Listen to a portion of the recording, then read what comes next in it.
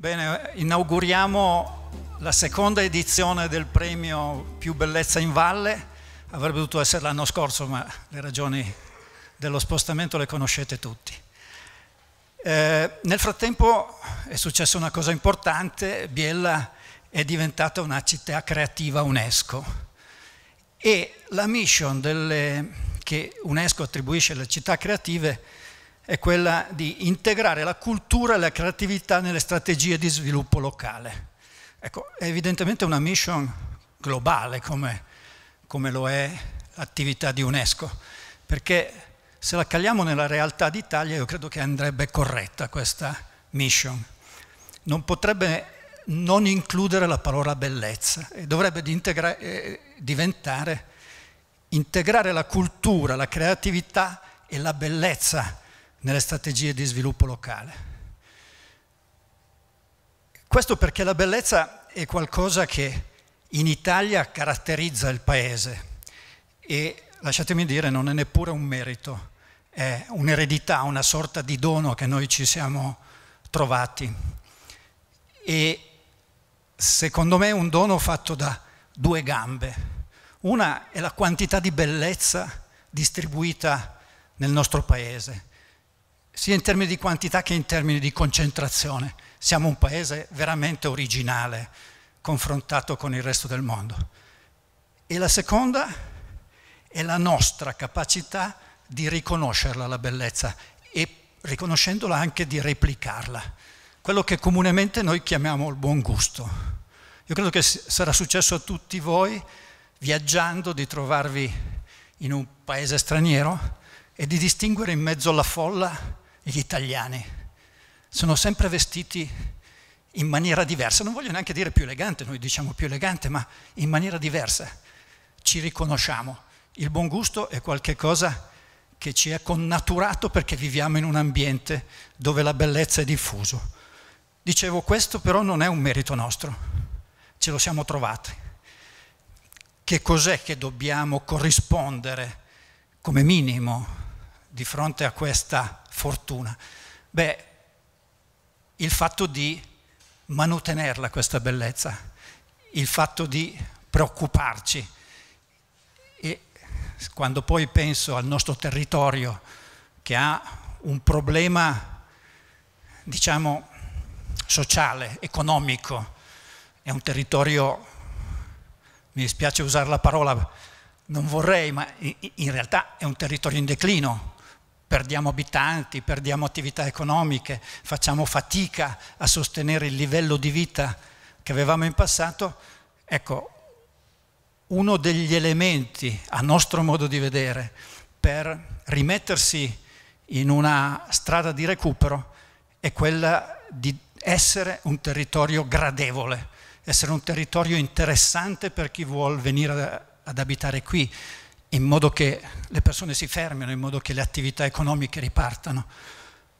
E quindi questa cura della bellezza che abbiamo intorno è ciò che dobbiamo fare, una delle tante cose, ma è una cosa fondamentale per pensare ad un recupero anche economico del nostro territorio. E in questo modo vi ho detto in parole diverse da quelle che magari ascolterete dopo, ma il concetto è lo stesso, qual è la ragione del premio più bellezza in valle contribuire a migliorare la gradevolezza di questo territorio per la gente che ci vive, per la gente che vorrà venirci a vivere, convinti che solo in questo modo si possa ritrovare ragioni di sviluppo anche economico e di benessere per tutti. E con questo io finisco la mia presentazione e passo la parola al sindaco di Valdilana, Mario Carli, a cui ancora una volta faccio i complimenti per il fatto che per chi non è del posto, Valdilana è un comune che nasce dalla fusione di quattro comuni, operazione di tre anni fa. Mm, è una cosa estremamente logica, è una cosa bellissima, una cosa utile, una cosa eh, che rende, però guarda caso, così poco diffusa. Complimenti a te.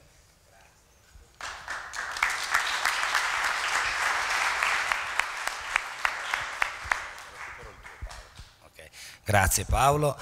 Buongiorno, buongiorno a tutti, io sono particolarmente contento e anche emozionato di poter essere qua con voi in questa seconda edizione, saluto tutte le persone care presenti che ci sono, i sindaci. Io volevo eh, prendere spunto da una riflessione che mi hai fatto venire proprio mentre stavi eh, preannunciando quello che sarebbe successo nella giornata il perché del premio più bellezza. No?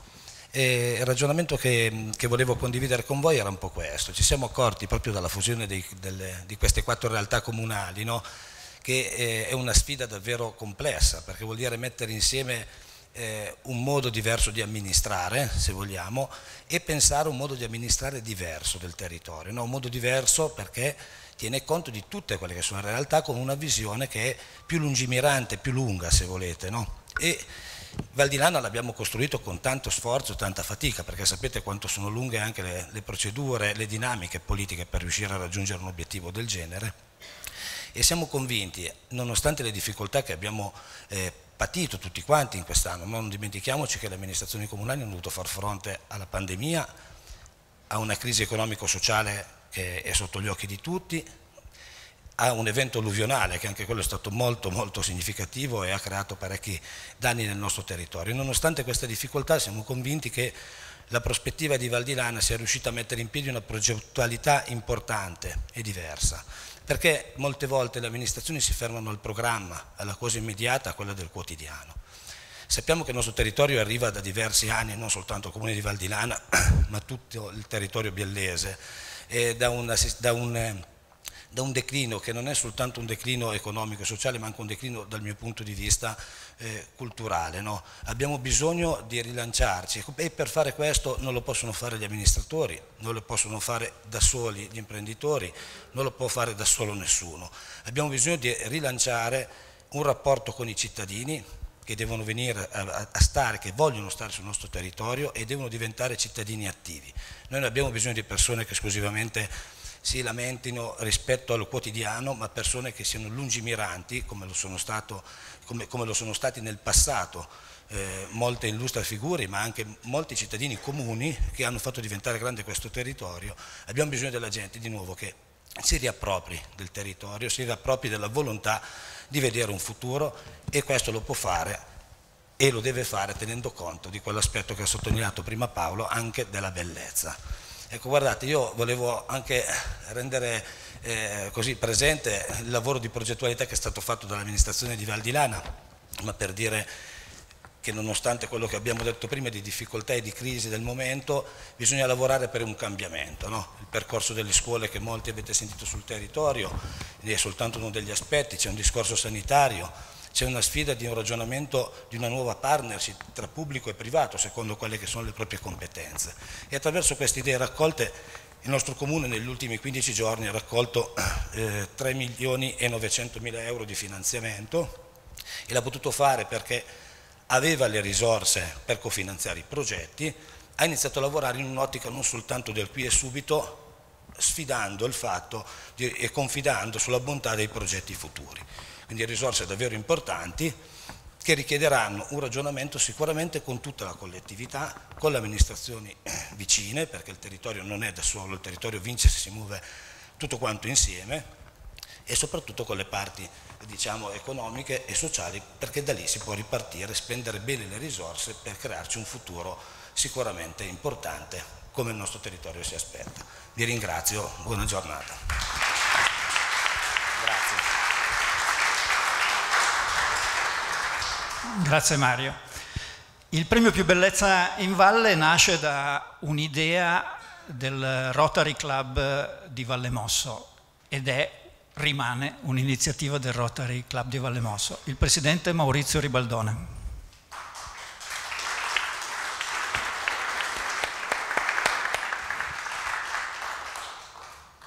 Grazie Paolo, gentilissimo.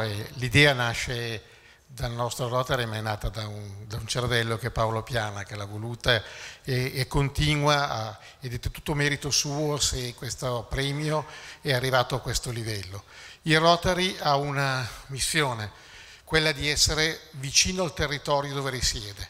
Soprattutto quest'anno abbiamo condiviso con eh, tutto il distretto che il Rotary può intervenire sul territorio a due livelli. Uno è quello ovviamente finanziario, contribuendo e facendo network, ma l'altro è fondamentale, è quello di credere in un territorio e di mettere tutte le risorse di ognuno di noi per i propri valori aggiunti a, a favore del territorio.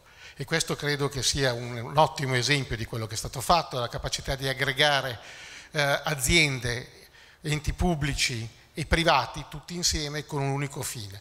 La bellezza, come ha detto prima Paolo, è fondamentale ed è fondamentale perché ha un contenuto culturale. Questo territorio ha bisogno di credere in se stesso, ha bisogno di credere, di trovare i suoi valori, riscoprire la sua storia e attraverso questi riportarla anche dando di nuovo un nuovo impulso e quindi la sensibilità alla bellezza ci, secondo me ci aiuterà sicuramente in questa strada. Ci sono altri esempi che stanno nascendo sul territorio, eh, faccio la Fondazione Biellezza che sta nascendo anche adesso e quindi sicuramente tutte queste azioni insieme non potranno altro che aiutare a passare questo momento di crisi e a progredire, cercando di rendere più appetibile questo territorio che ha già in suo contenuto una propensione a un particolare tipo di turismo, a un particolare tipo di attrattività. Sta a noi farla sviluppare. Io non direi altro perché ci è stato detto tutt'altro. Grazie Paolo. Grazie a te Maurizio. E tu hai citato la Fondazione Biellezza, eh, io sono molto grato a Paolo Zegna che presiede la Fondazione Biellezza che è diventata da quest'anno partner del premio. Grazie.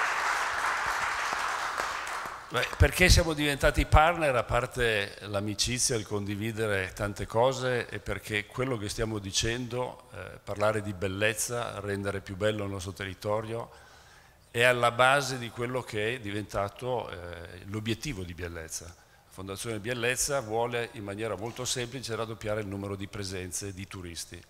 E I turisti oggi li attiri se a un certo punto hai degli elementi da vendere e noi ne abbiamo tanti, ma dobbiamo probabilmente un po' spolverarli, lucidarli, evidenziarli, farli conoscere, unirli fra di loro, lavorare di gruppo, perché così la gente effettivamente comincia a guardarci.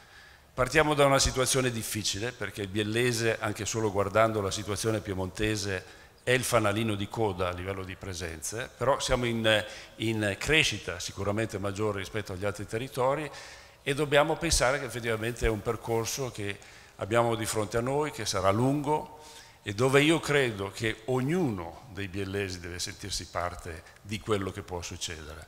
Non sono solo pochi organismi, pochi gruppi, pochi volontari, ognuno può rendere il nostro territorio più bello.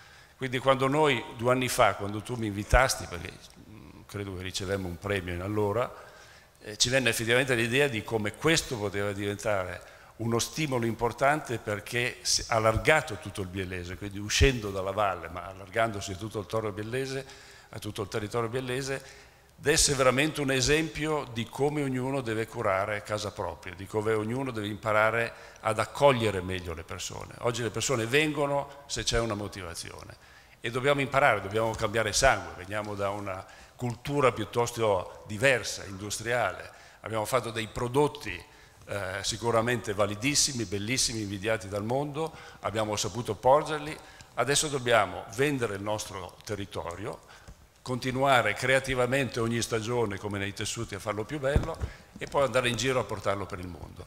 E questo lo facciamo se ognuno di noi ci mette del suo.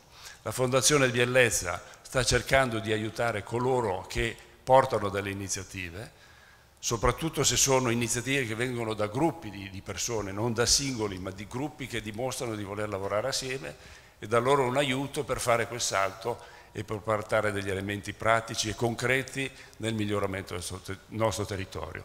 Per questo noi vi appoggiamo, siete un, un premio di cui andiamo molto fieri, al quale auguriamo futuro ancora più brillante e ancora più globale in tutto il territorio. Grazie. Grazie. Buongiorno a tutti, io sono Nicola Carrera, mi sono occupato di alcuni aspetti organizzativi del premio. Come avete sentito e come verrà poi meglio ribadito in seguito, il premio è proprio finalizzato al riconoscimento e alla valorizzazione di tutti quegli interventi che hanno determinato in qualche modo un miglioramento paesaggistico del territorio delle valli del Biellese orientale. Il premio è sostanzialmente strutturato in due sezioni, una sezione che è quella edilizia, quindi gli interventi di carattere architettonico, ed una sezione ambiente, che sono gli interventi di carattere invece ambientale. Il premio ha una cadenza annuale e si possono candidare quegli interventi che sono stati svolti negli ultimi cinque anni. Come vedete nell'immagine alle mie spalle, eh, il territorio che è interessato dal premio è piuttosto vasto. Rispetto alla prima edizione, nel, nella quale erano coinvolti i comuni, 13 comuni che facevano parte sostanzialmente della Valle Strona e del Mortigliengo, in questa edizione c'è stato un ampliamento con ulteriori altri 10 comuni. Adesso abbiamo ben 23 comuni che vanno dalla Valle Strona al Mortigliengo fino alla Val Sessara, alle Rive Rosse e alla Valle Strona di Postua.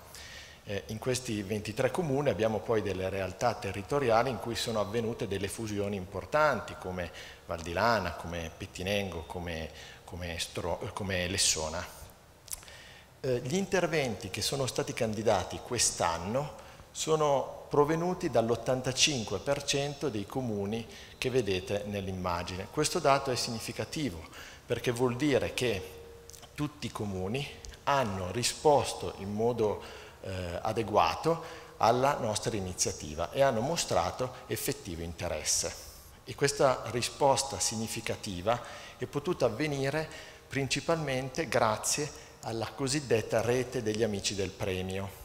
Questa rete di amici del premio è stata coordinata in modo, devo dire, magistrale da Pier Beretta, che purtroppo oggi non è eh, presente, e del quale porto però eh, i saluti perché eh, ci teneva. In rappresentanza degli amici del premio chiamerei sul palco l'architetto Francesco Guerzoni con cui faremo eh, una bella chiacchierata.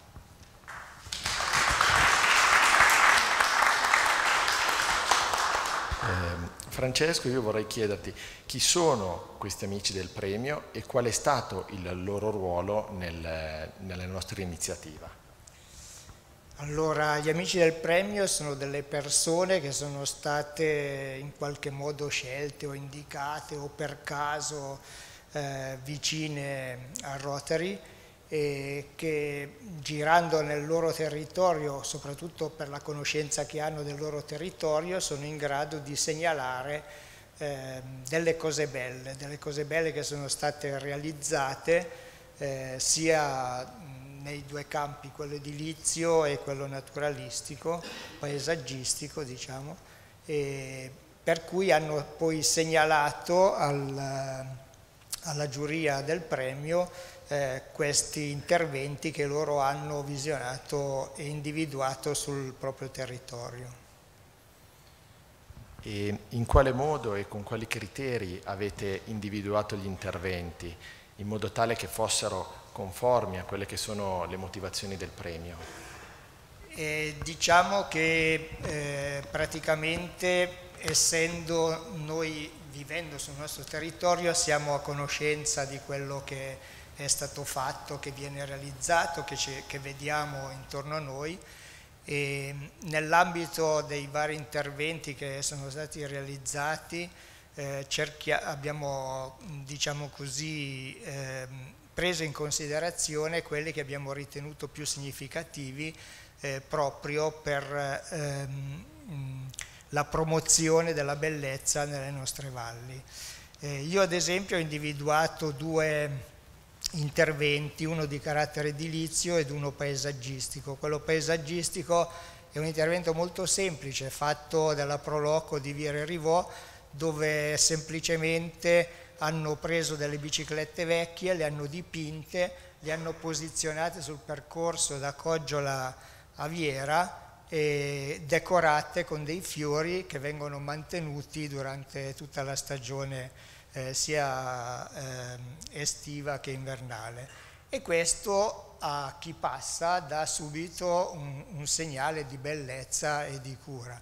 Un altro intervento che ho segnalato è di tipo edilizio, una ristrutturazione che è stata fatta a Coggiola, dove una pasticceria si è trasformata in caffetteria in modo molto elegante, molto fine, molto bello e questo secondo me ha aumentato in modo significativo la bellezza del nostro paese che purtroppo Coggiola è quello che è, ma un po' alla volta cercheremo e speriamo di riuscire a migliorare proprio con, eh, con eh, interventi che verranno eseguiti sul territorio.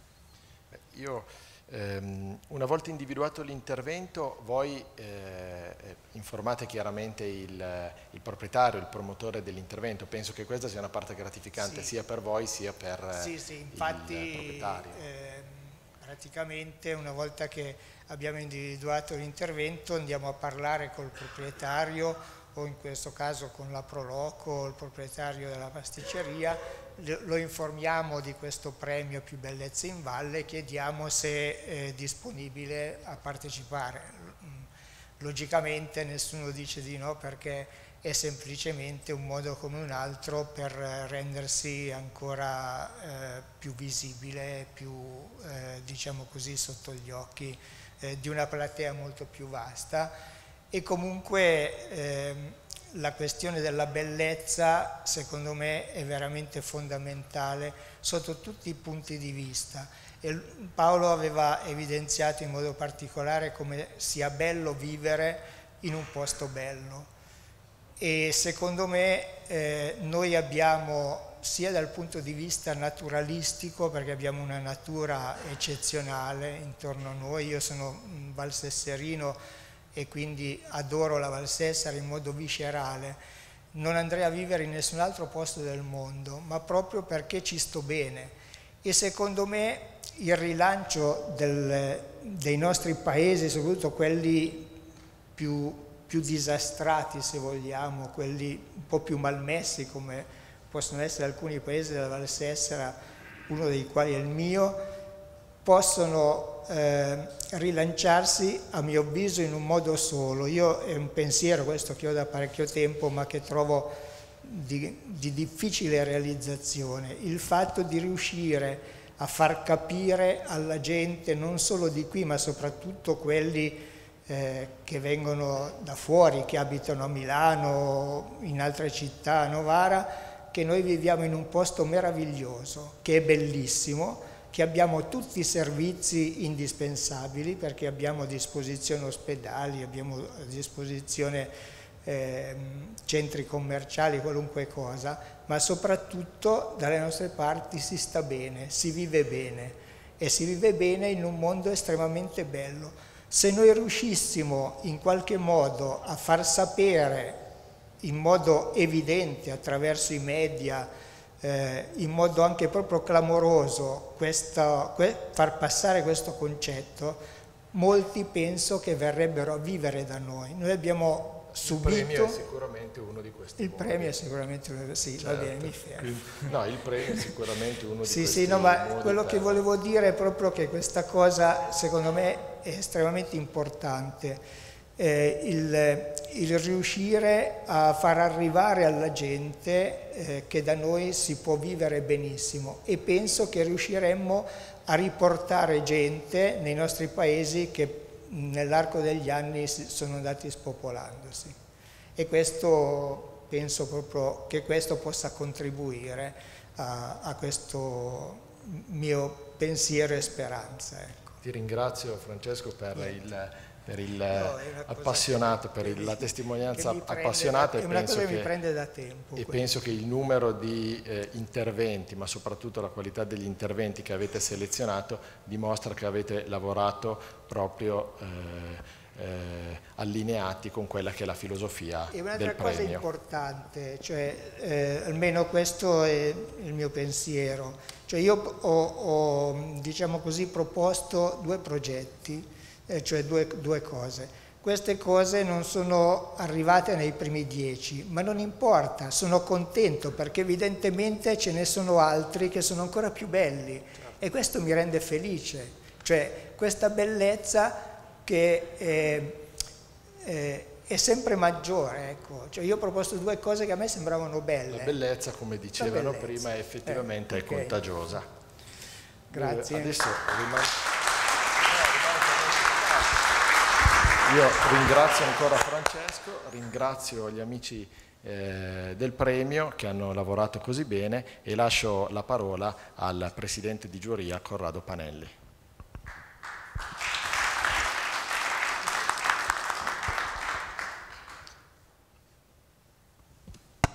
Tolgo solo la maschera. Buongiorno a tutti, io sono il presidente di, della giuria, sono l'orgoglioso presidente della giuria. Eh, in questi giorni pensavo, mi hanno detto devi presentare giustamente la giuria, allora cercavo una definizione per ognuno. Eh, non sono riuscito a trovarla. L'unica cosa che mi è venuta in mente è anche, perché dicevo, i membri della giuria sono anche architetti, sono anche paesaggisti, anche professori, anche, mm, anche artisti, ma soprattutto sono persone di cultura e persone molto sensibili li devo ringraziare perché hanno messo la loro cultura e la loro sensibilità al servizio del premio. Sensibilità e cultura che è differente. Potrete immaginare, sono tutte persone assolutamente senza personalità, quindi quando li ho caricati sul pulmino per portarli in giro e valutare tutti gli interventi proposti, eh, insomma, non è stato facile metterli d'accordo perché ognuno ha la sua visione, ognuno ha il suo pensiero e ognuno eh, insomma retrocede con difficoltà perché hanno una grossa personalità. Però la bellezza alla fine crea condivisione e quindi alla fine, visti, visti gli interventi proposti, abbiamo condiviso tutti quali, quali poi erano i vincitori e quali erano i, beh, innanzitutto i dieci candidati e poi i vincitori. Eh, li facciamo scorrere perché sono persone conosciute, però è giusto che vediate chi sono. Questo sono io, ah, sono io che devo andare avanti. Elena Accati, professoressa agronoma e scrittrice. Alberto Barberis Canonico, anche industriale e ingegnere. Luisa Bocchietto, architetto e designer. Andrea Schipar, architetto e paesaggista. Cristina Anatoli, architetto e funzionario della soprintendenza. Michelangelo Pistoletto, artista, pittore e scultore, Andrea Rolando, ingegnere e professore, Giovanni Vachino, anche architetto. Eh, devo ancora solo dire due parole. Eh, oltre a ringraziare la giuria, voglio ringraziare tutte, tutti gli interventi candidati, non tanto per essersi candidati, quanto per quello che hanno fatto. Eh, non tutti hanno vinto, ma vuol dire che qualcuno ha fatto qualcosa di più significativo, comunque che in quel momento ha generato più condivisione nella giuria, però devo ringraziarli per quello che hanno fatto, perché tutti hanno veramente lavorato per fare il bene del territorio, tutti hanno lavorato per fare bene, quindi di questo noi non possiamo che, che dire grazie. Grazie a tutti. E passo la parola.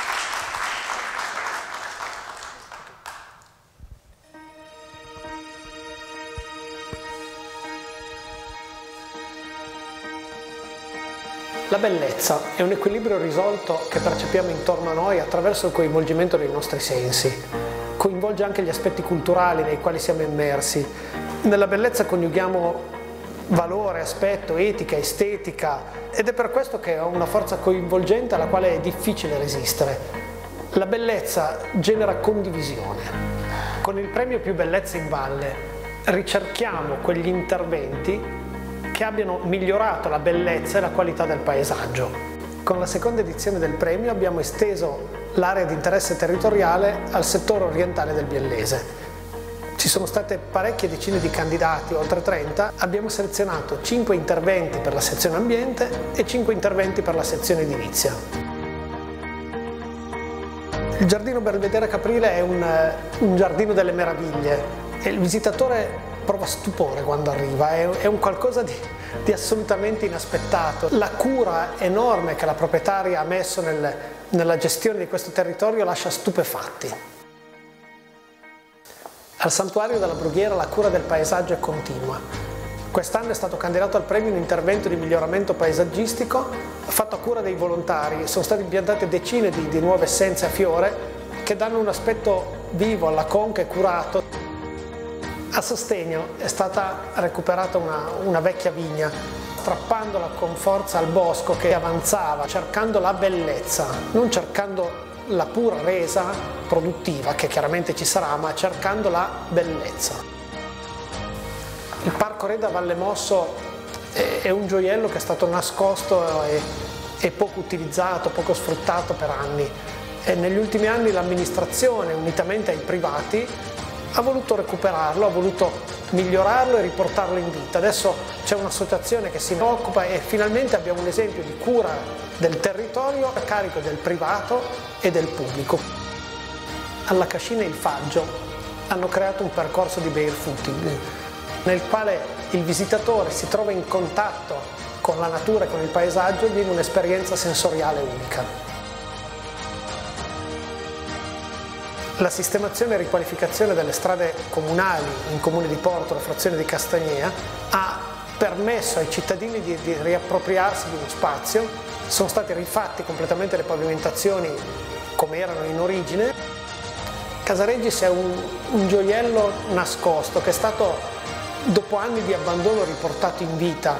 La proprietà mette in connessione la bellezza del luogo con la bellezza dell'arte.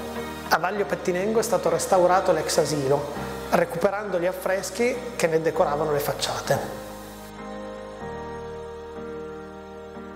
Con gli interventi di riqualificazione urbanistica a Casa Pinta sono state rifatte recuperate tutte le pavimentazioni all'interno dei vari nuclei storici e questo intervento ha reso viva la frazione, tanto che passeggiando adesso si vedono questi cortili finalmente vissuti. Con la ristrutturazione del bosco a Trivero Valdilana, una casa ormai abbandonata e soffocata dal bosco ha ripreso vita, diventando un piccolo gioiello. Il premio Più Bellezza in Valle è giunto alla sua seconda edizione con soddisfazione della giuria che si è riunita per premiare anche quest'anno i migliori progetti realizzati.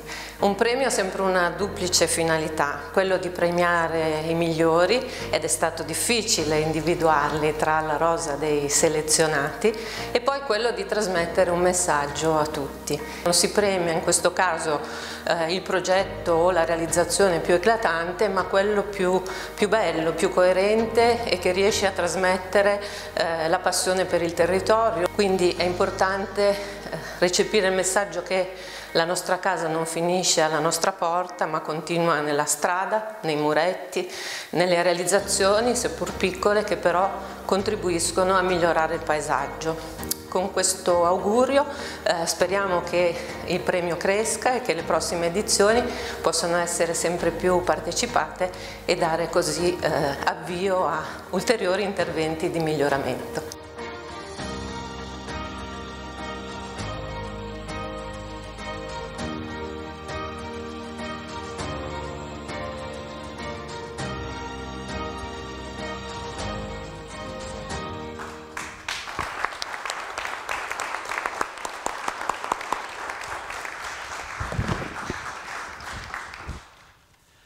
Adesso siamo alla premiazione, consegniamo una targa ai dieci interventi finalisti e vi chiedo un applauso per Francesca perché è emozionatissima.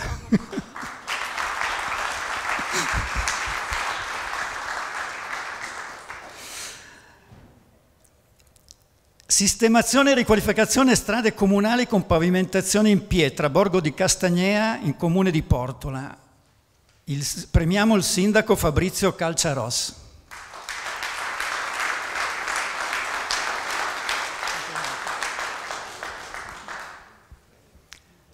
Corrado legge la motivazione.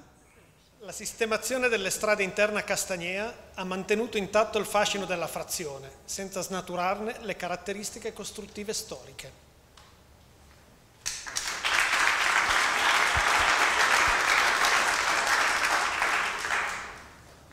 Restauro ex asilo in comune di Pettinengo. Premiamo il sindaco Gianfranco Bosso.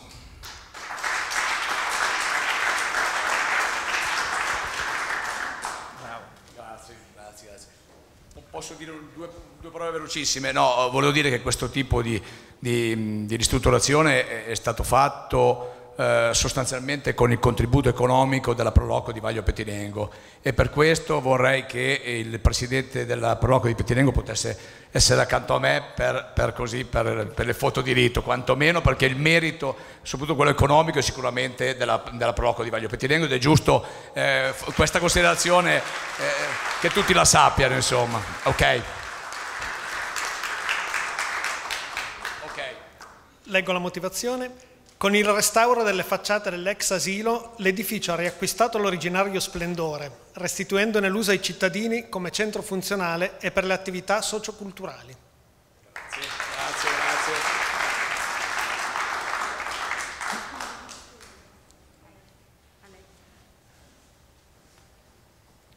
Mi metto di qua perché sennò... Grazie. Grazie. Riqualificazione urbanistica Borghi del comune di Casapinta. Premiamo il vice sindaco Danilo Cavasin.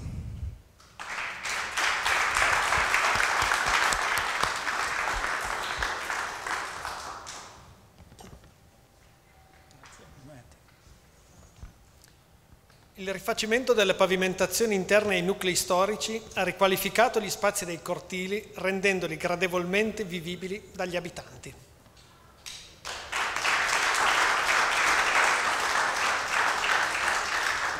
Ecco, come vedete queste targhe hanno quattro fori.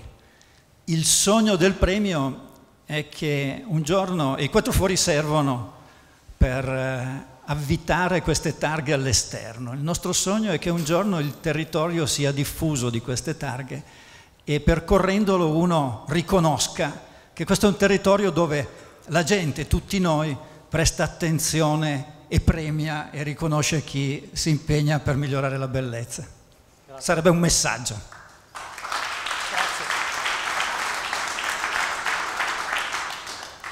Ristrutturazione nel bosco, frazione Zegna, comune di Valdilana, Matteo Scurci Ferreira Vicente.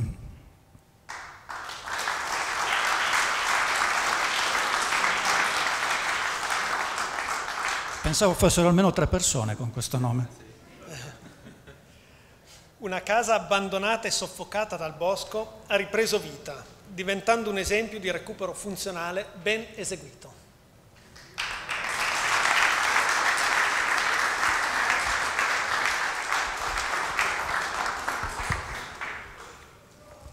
E siamo al vincitore della sezione edilizia. Vince Casa Regis, comune di Valdilana, premiamo Lisa Margarita Michele Michael Stanbridge.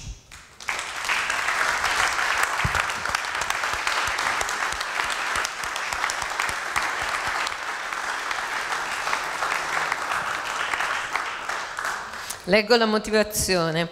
L'associazione Casa Regis è nata per valorizzare l'immobile settecentesco a Marchetto di Mosso L'edificio è stato recuperato con grande attenzione, mantenendo intatte le sue caratteristiche originali, gli affreschi delle volte, i pavimenti e il giardino all'italiano un esempio di raro pregio. L'associazione vi promuove eventi culturali ed esposizioni che restituiscono identità e bellezza e una, ha una struttura che era prima dimenticata, inserendola nel tessuto culturale che la circonda e collegandola con il resto dell'Italia e con la comunità internazionale attraverso la presenza e lo scambio di artisti contemporanei.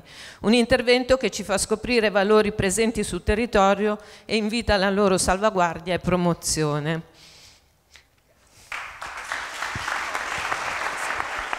Assolutamente sì. Uh, domani c'è il finissage della mostra alle ore uh, 16, siete tutti invitati. Ok, grazie. Io volevo farti un,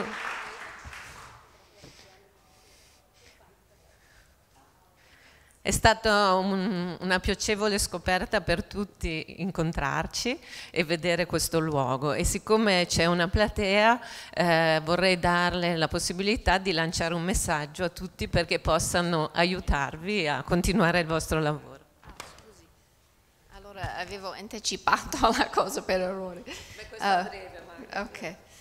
Ah, sì. Eh, no, effettivamente uh, è un piacere di sfruttare un po' le mie origini, che sono, sono americana, e gli americani normalmente arrivano solo a Firenze, Venezia, Roma, eh, mai arrivano qua sen- senza un aiuto speciale. E a me fa molto piacere uh, collegare artisti stranieri con artisti locali, creando questi legami. Uh, lavoro molto strettamente con una liaison a Los Angeles dove anche lei ha uno spazio espositivo, quindi cerchiamo di invitare gli artisti di là che vengono qua e viceversa, creando questo dialogo internazionale. E comunque per lanciare un appello a tutto, cioè tutti gli aiuti possibili del giardinaggio, di idee, questo posto vive sicuramente attraverso uh, le persone che, che vengono a partecipare uh, perché io semplicemente um, ho visto questo luogo in disuso da vent'anni, uh, eh, mi sembrava impossibile, ho portato l'unica cosa che conosco che è l'arte e, e, quindi mi sembrava naturale, ma chiaramente è attraverso l'aiuto di tutti gli artisti, Franco Grosso che anche abita a Marchetto e, e quindi chiaramente sta prendendo forma uh, attraverso l'aiuto e le persone che, a, a cui fanno piacere partecipare. Ecco. Grazie. Complimenti per il tuo lavoro.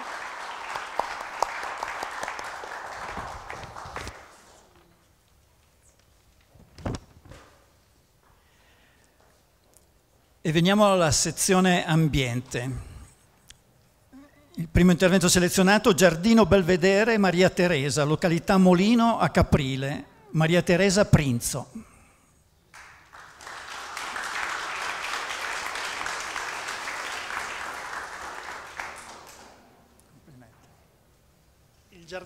Il giardino Belvedere Maria Teresa è un luogo delle meraviglie.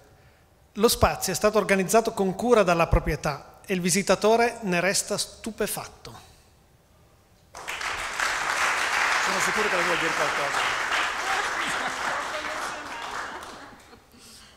Eh, grazie, grazie alla giuria e a tutti quelli che sono già venuti e che hanno apprezzato tantissimo. Io sono rimasta anch'io, eh, cioè non mi aspettavo un successo così sinceramente. Eh, l'avevo fatto per me e poi così a un certo punto ho deciso di aprirlo al pubblico e, ed è servito perché mi fanno un sacco di complimenti quindi mi riempiono di gioia. Abbiamo, abbiamo inserito recentemente una parte che è legata alla cultura eh, dove presenteremo dei libri e faremo conferenze e c'è anche la biblioteca del bosco, quindi chi viene a fare eh, picnic da noi può poi prendersi un libro e leggerlo nel bosco. Grazie. Beh, devo dire che tocca un punto importante. Ciascuno di noi a casa sua pensa di fare delle cose per sé, ma in realtà le fa per tutti ed è questo è molto bello.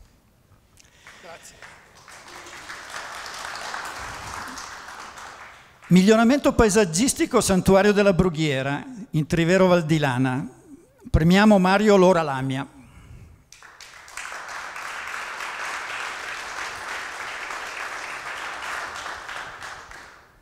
Al Santuario della Brughiera l'attenzione al territorio è ripetuta e continua.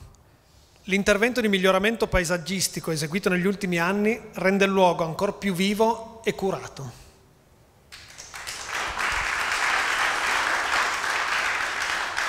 Bene, grazie, ringrazio la giuria per il premio. Mi preme ricordare però che il vero ideatore e artefice del rinnovamento della brughiera è il rettore Dondino Lanzone, che non so se in sala perché era impegnato con le funzioni del pomeriggio. Facciamo un applauso a distanza.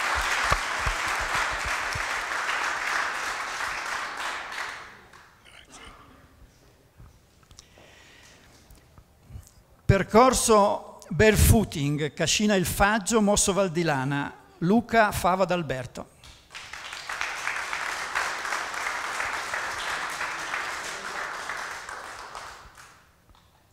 Con il percorso di barefooting presso la Cascina il Faggio il visitatore entra in contatto diretto con la bellezza del luogo e della natura, vivendo una vera esperienza sensoriale.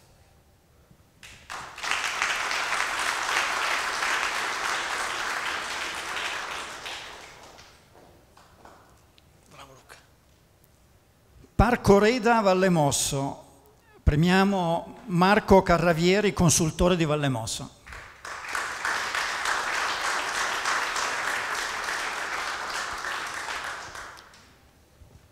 Un ambiente significativo, nascosto e poco utilizzato negli ultimi anni, ha ripreso vita grazie alla collaborazione tra ente pubblico e cittadini, diventando un luogo curato a disposizione di tutti.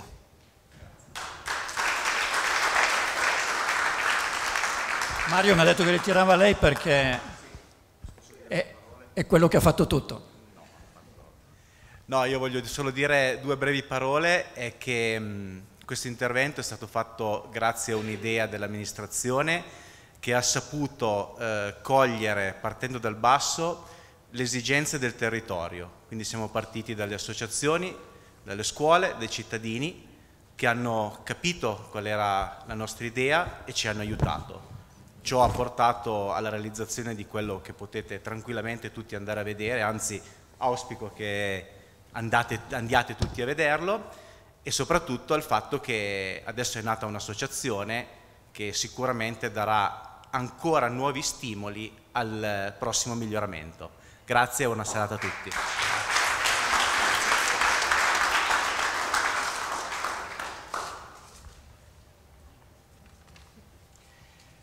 E siamo il vincitore della sezione ambiente. Vince Nasce una vigna, azienda agricola Lorenzo Rovero a sostegno. Lorenzo Rovero.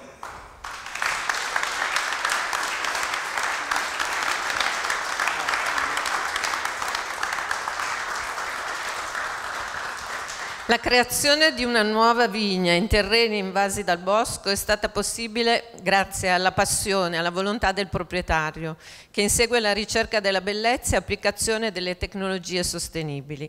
È un esempio che riunisce capacità imprenditoriale, amore per la natura, rivalutazione del passato e desiderio di dimostrare nuove forme di economia possibili.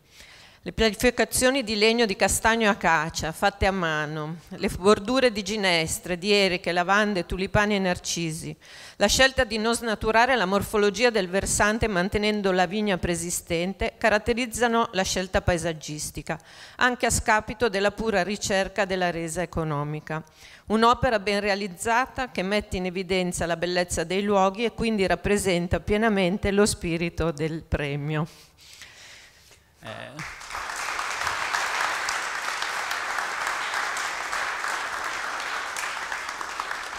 Ringrazio la giuria per l'attenzione e il tempo dedicatomi a questo progetto e molto semplicemente l'obiettivo mio è quello di poter produrre vini naturali, biologici e valorizzare un, un territorio, un patrimonio che abbiamo che è quello delle nostre colline, del nostro territorio, della natura. Eh, ti faccio anche una domanda. Eh, noi abbiamo visto tutta la passione che hai messo in questo lavoro e le difficoltà, ci hai raccontato anche che hai incontrato, che stai incontrando. Quali sono a breve i tuoi obiettivi? Eh, il vino certamente, ma riguardo al, alla vigna, quali saranno i prossimi step del lavoro? Beh, finire la vendemmia, che mancano pochi giorni, che è stata un'annata molto complicata per per diversi motivi e, e poi poter allargare e continuare a eh, togliere parti di non bosco per poterle sostituire a, a pezzi di terra eh, sempre più produttivi e più belli. Sarebbe bello anche forse un domani poterla aprire alle visite. Eh, se non fosse recintata? Sì, per motivi che sappiamo. Per motivi purtroppo non dovuti alla mia volontà, perché la mia volontà era renderla accessibile a tutti, anzi sì, agli invasioni dei cinghiali. Cinghiali, questo... caprioli, tassi e questa, questa natura che è difficile da contenere. Va bene. Complimenti ancora per la passione. Grazie, grazie mille a tutti.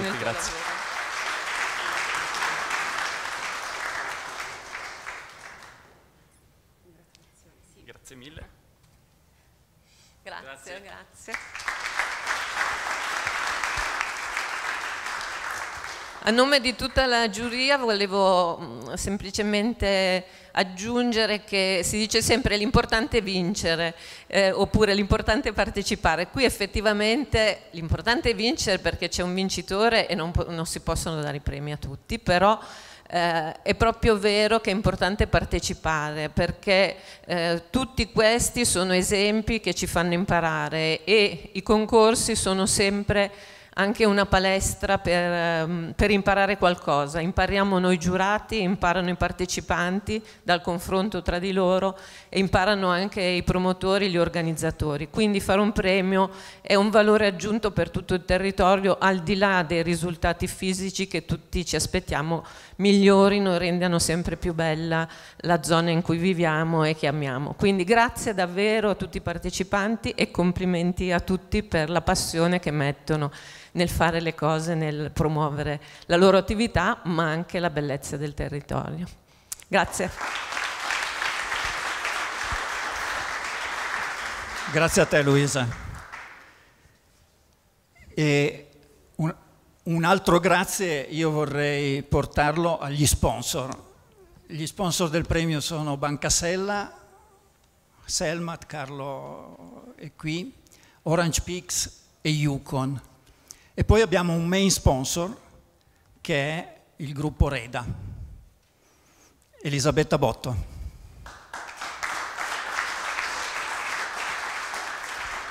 Grazie Paolo. Dimenticavo, Elisabetta Botto è Presidente del Consiglio di Famiglia, si dice così, no? Sì, sì. Grazie. Grazie Paolo. Allora, io sono veramente ehm, orgogliosa di essere qua oggi ehm, a rappresentare la nostra azienda e la mia bellissima famiglia.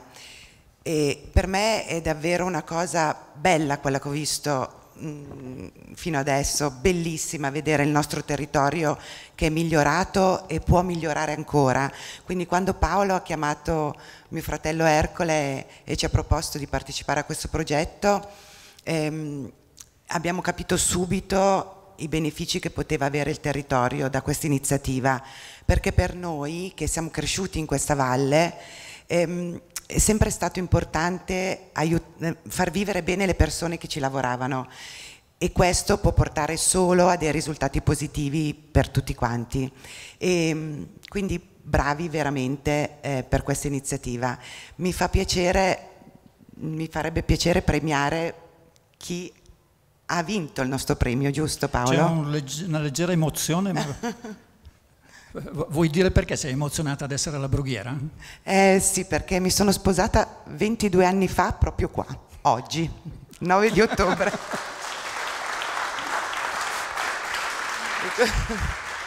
Infatti mio fratello mi ha fatto questa bella sorpresa, mi ha detto vai tu oggi. Bene. Eh, la giuria non ha l'obbligo di aggiungere un premio a quelli che avete appena visto, però ha la facoltà di eh, premiare qualcuno che al di là di un intervento ha speso la propria vita, il proprio tempo, la propria attività eh, su questo filone di pensiero con la missione di recuperare la bellezza. E quindi il premio Reda per la bellezza si rivolge a quelle persone o strutture per le quali non avrebbe senso considerare una cosa che hanno fatto, ne hanno fatte tante. Eh, quest'anno il premio Reda va al Dogby e qui c'è il presidente Marcello Vaudano.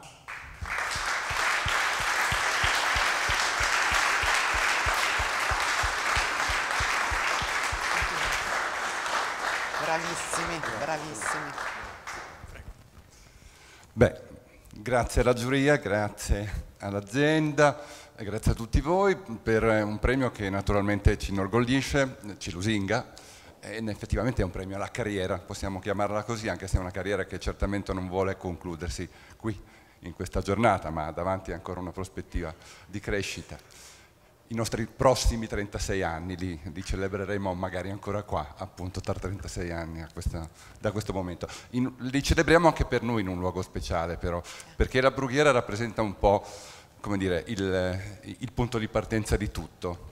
perché è da un gruppo di giovani che eh, amavano questo territorio e che già nei primi anni Ottanta hanno dato vita a delle esperienze di recupero ambientale in Alta Valsessera, hanno dato vita ad esperienze di studio e di catalogazione del patrimonio artistico votivo e non solo votivo, anche di pittura morale, eh, murale religiosa nel Triverese.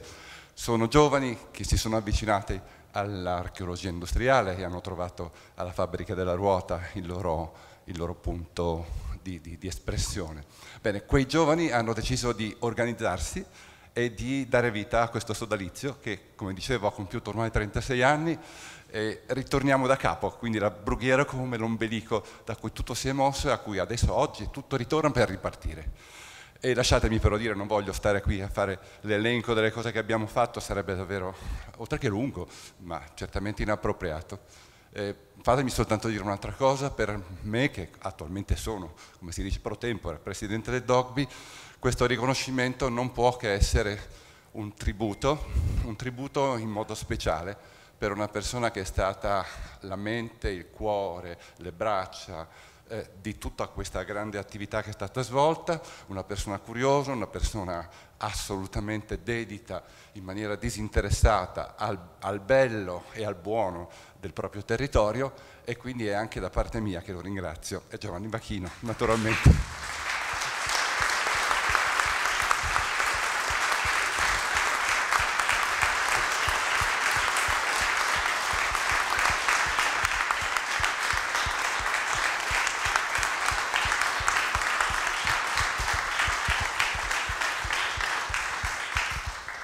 Magari prima dell'intervista facciamo passare un video così eh, la storia del DOCMI è un po' raccontata.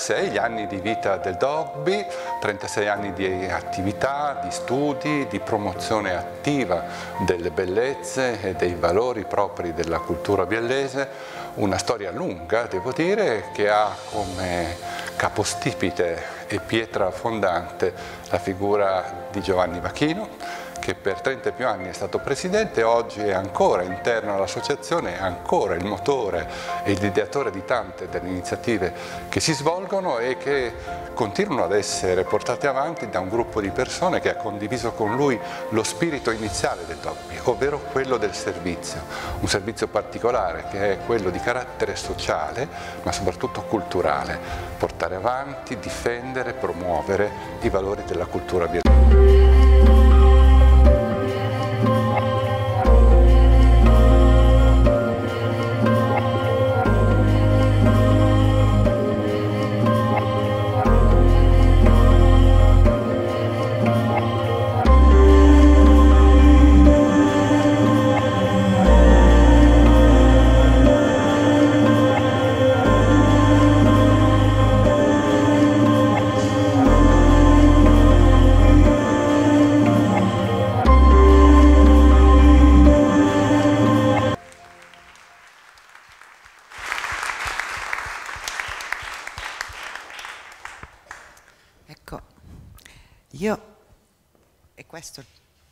Immagino.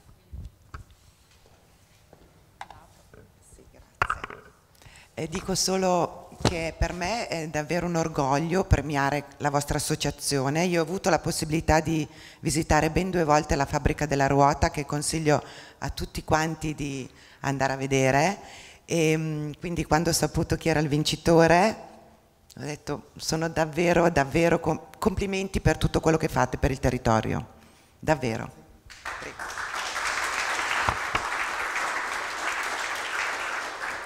Io vi leggo la motivazione, anche se in poche righe riassumere è veramente difficile. Per la rilevanza e l'unicità dell'opera costantemente svolta negli anni, nella ricerca, cura e promozione della bellezza del territorio. Il DOGBI, Centro Studi Biellese, tutela, valorizza e promuove il territorio del Biellese, contribuendo al recupero ed al mantenimento della sua identità attraverso la conoscenza, la documentazione e la conservazione della cultura e dell'ambiente. le attività di tutela e valorizzazione della bellezza del patrimonio culturale del paesaggio, le ricerche svolte, le attività culturali, artistiche o ricreative, le attività di promozione e diffusione dei beni culturali e paesaggistici locali fanno del DOCBI, Centro Studi Biellese, un'associazione che rappresenta pienamente lo spirito del premio e dalla quale tutto il territorio è grato.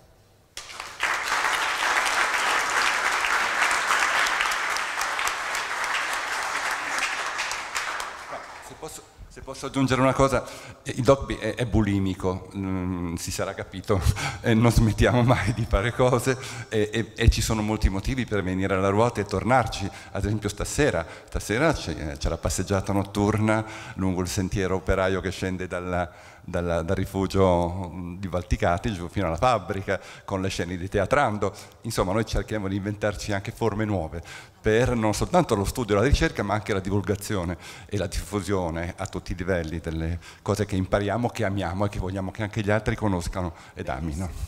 Ecco, a proposito di questo, posso fare una domanda al Presidente Vaudano. Ehm, mi chiedevo qual era dei progetti che sono stati fatti in tutti questi anni di associazione che vi ha dato più soddisfazione, anche se magari non era il più grande o il, quello che più dava risalto, ma che vi ha impegnato di più e che vi ha dato più gratificazione? Eh, credo che sia difficile rispondere perché dentro al dogma in realtà esistono sensibilità, competenze differenti e anche modi di valutare eh, eh gli elementi culturali diversi.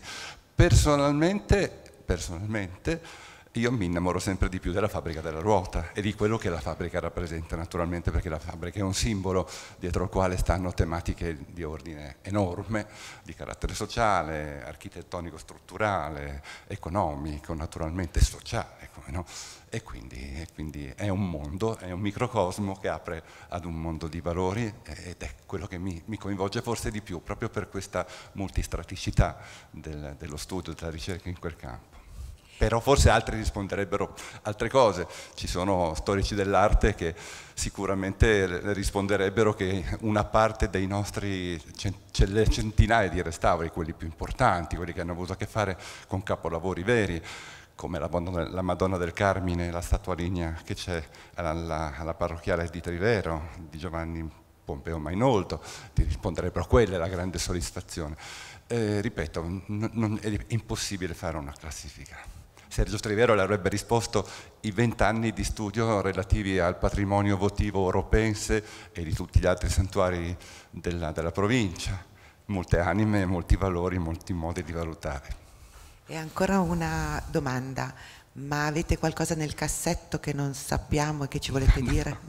nel cassetto, soprattutto nella testa di Giovanni, stanno un, muore, un, mondo di cose, un mondo di idee. Eh, il riuscire a realizzarle è un altro discorso. Naturalmente noi come associazione di volontariato dobbiamo fare i conti con delle risorse che non sono proprio così ingenti e che a seconda dei momenti ci condizionano anche pesantemente Facciamo l'appello allora di sostenere il dogby anche noi, molti di voi saranno soci, ma se non lo siete ancora fatelo perché è un modo per sostenere le cose che abbiamo visto e abbiamo detto. Va bene. Paolo, vuoi chiedere qualcosa?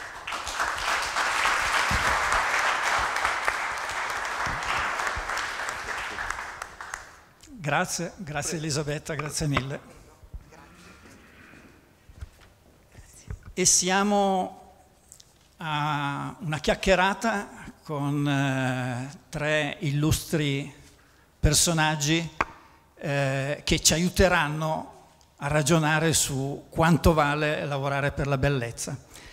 Chiamo il professor Valentino Castellani, professore universitario, ingegnere, professore universitario, prorettore al Politecnico di Torino.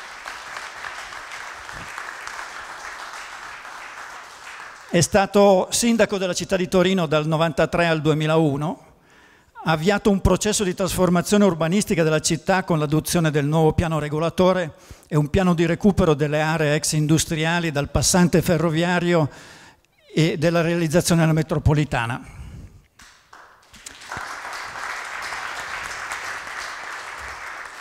Sintetizzo evidentemente, abbiamo diffuso eh, un po' più di dati ed informazioni, ma sarebbe una lista troppo lunga. Roberta Ceretto è presidente e responsabile della comunicazione dell'azienda vitivinicola Ceretto. Eh, del rispetto del territorio ne hanno fatto un must, la famiglia Ceretto ne ha fatto anche una questione etica e morale puntando su un tipo di agricoltura biologica e biodinamica, senza però rinunciare all'innovazione, alla bellezza e all'arte, come dimostra l'antico casolare ottocentesco di proprietà trasformato in una cantina dal design moderno, o ancora la celebre cappella del Barolo dipinta da Tremlett e Lewitt.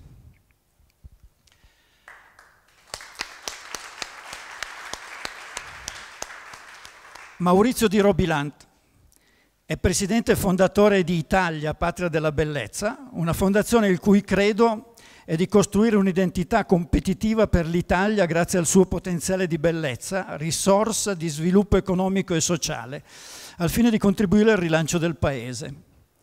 Inoltre è presidente e fondatore di Robilan Associati, che è un SPA, la società di brand advisory e strategic design, che ha rinnovato e curato alcune delle marche più famose del Paese.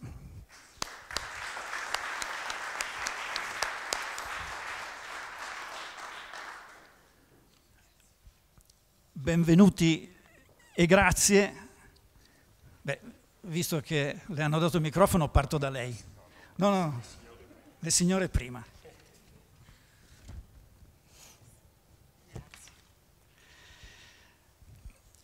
Dal sito si legge siamo mecenati delle arti, produttori di torrone, narratori di storie, venditori di vino. Pensate, vent'anni fa nessuno avrebbe descritto in prima pagina la propria azienda se non mettendo produco vino di questo tipo, di quest'altro, da questi vitigni. Invece qui ci sono due aspetti materiali, ma ce ne sono due immateriali. La ricerca della gradevolezza e del benessere anche così eh, intellettuale, vorrei dire, del vostro cliente, nella vostra idea, quanto vale nella vostra idea di fare business?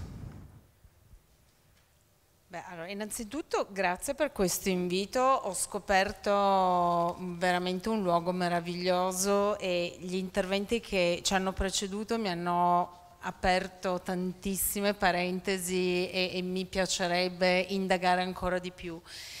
Dunque sì, io mh, nello specifico poi sono quella di famiglia che si occupa mh, veramente delle cose meno materiali perché non seguo la produzione. Noi, eh, se, se, chiunque chiede a un membro della famiglia Ceretto qual è il nostro lavoro, fondamentalmente ci sentiamo ancora produttori di vino e infatti diciamo produciamo vino.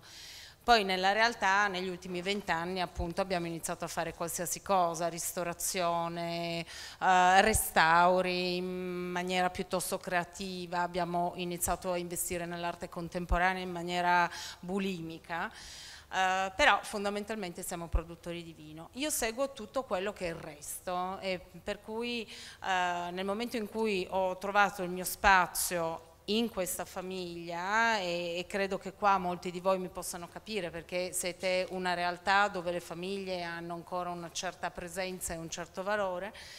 Eh, ho cercato di eh, dare il mio contributo ma non avendo nessuna esperienza in quello che eh, era la parte manuale e produttiva, ho cercato di contribuire con la creatività. Non sono un artista, mi piacerebbe però partecipare l'anno prossimo al viaggio in pulmino con la sua giuria, perché veramente io guido il pulmino, ma è incredibile. Però ehm, ho, ho, cercato di contribuire cercando di dare un, uh, un aspetto un, un, pochettino più leggero a quello che uh, era un lavoro estremamente pragmatico. In realtà poi noi veniamo da un territorio che mh, detto ora mh, sembra il paese del Bengodi. Mh, io quando ho iniziato a lavorare in realtà nel 99 eh, le langhe non erano quelle che tutti adesso conoscono e invidiano e eh, è stato un, uh, un desiderio collettivo di investire sul territorio credendo nelle potenzialità che questo territorio sapeva esprimere. Un territorio che come il vostro è straordinariamente bello non aveva però avuto un, passato con uh, delle famiglie lungimiranti che avessero investito in arte e in cultura e quindi forse un ragionamento che noi, che la mia famiglia ha voluto fare è proprio quello di introdurre la cultura come elemento propositivo per il territorio. Uh, noi lo abbiamo fatto in maniera forse inconsapevole a partire dagli anni Ottanta quando abbiamo iniziato a fare un restyling delle etichette, il eh, Tor de Robilan mi capirà perché le etichette sono poi il nostro biglietto da visita al di là della qualità che poi esprimono i vini e questo ha cambiato la percezione su quello che volevamo fare. Abbiamo iniziato uh, da lì a capire che la bellezza poteva contribuire in maniera significante a promuovere il nostro lavoro e quindi anche le nostre cantine sono state invase di bellezza. Noi siamo intervenuti in alcuni ambiti proprio dal nuovo, partendo da zero a costruire delle cantine nuove, per esempio la cantina che abbiamo nel, nella denominazione del Barolo che nell'82 è stata costruita costruita ad hoc, ma in maniera estremamente moderna, in un territorio che esprimeva grande tradizione e per cui siamo stati visti come dei pazzi, adesso dei visionari, prima come dei pazzi. E poi siamo inciampati nell'arte contemporanea e questo ha creato in noi il desiderio di portare sempre maggiore bellezza. Eh, partendo però da un'attività dove in maniera inevitabile noi dobbiamo trattare le nostre vigne in maniera attenta e curata, per cui mh, mm, sono sono lavorate in maniera ancora più meticolosa rispetto a, a, quello che occorre trattare un giardino, ma per una questione meramente funzionale. È più semplice per noi produrre della buona uva se la tua vigna viene lavorata in un certo modo. Sindaco, parlando di territorio, lei si è trovato a lavorare su aree degradate, periferie. Qual è stata la sua esperienza?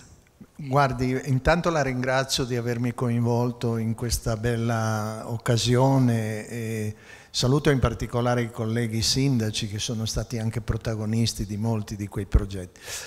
Guardi, io, io penso no, che l'attenzione alla bellezza sia un, dire, un, un un, eh, un creatore di, di, senso di appartenenza eh, nelle comunità. Le comunità sono fatte naturalmente di un luogo, ehm, le aree urbane non sempre sono dei luoghi belli, no?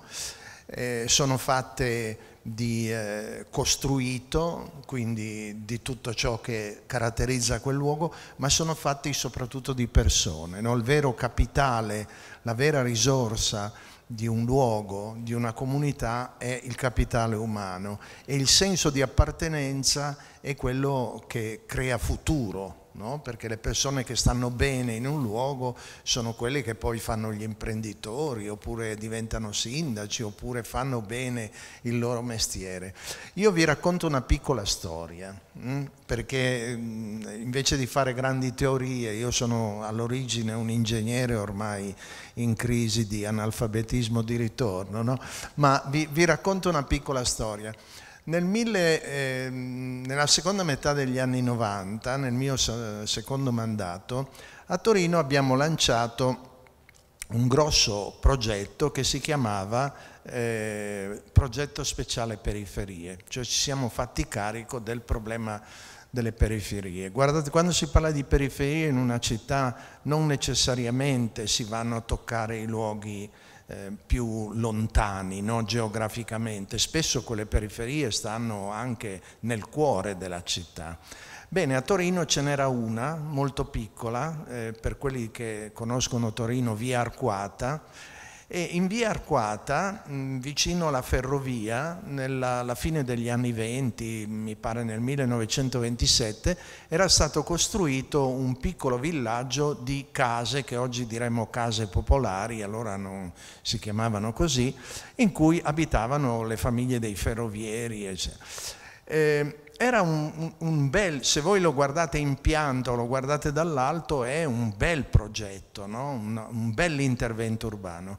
Questo alla fine degli anni, alla fine del secolo, cioè 60 anni dopo la sua costruzione, era diventato un ghetto urbano, no? abitato da famiglie povere, con eh, nessuna o scarsa manutenzione del, del, del costruito, insomma un, un, un luogo veramente, veramente sgradevole e lì scoppiò una specie di piccola rivolta eh, perché eh, bisognava fare da parte del, della, dell'agenzia della, della, casa, bisognava fare la manutenzione eh, del, de, de, delle caldaiette del riscaldamento. No? Quindi io quando sono andato là in quel posto, le caldaiette buttavano giù le cose dalle finestre.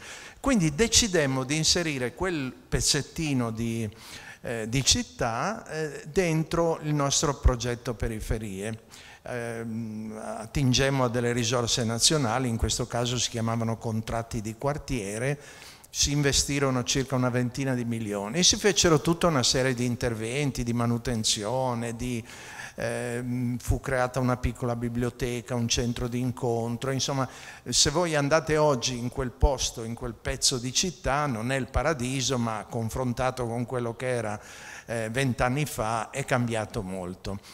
Perché vi racconto questa piccola storia? Perché quelle case, quelle case che erano state costruite all'epoca, siamo all'inizio del secolo, non nei primi decenni del secolo, erano state, eh, come dire, eh, vestite no? di eh, una, una, come dire, una, una po', un po' di arte liberty, no? Eh, le finestre avevano le loro cornici, c'erano eh, tutta una serie di, eh, diciamo, di decorazioni sui muri, c'era un posto molto gradevole.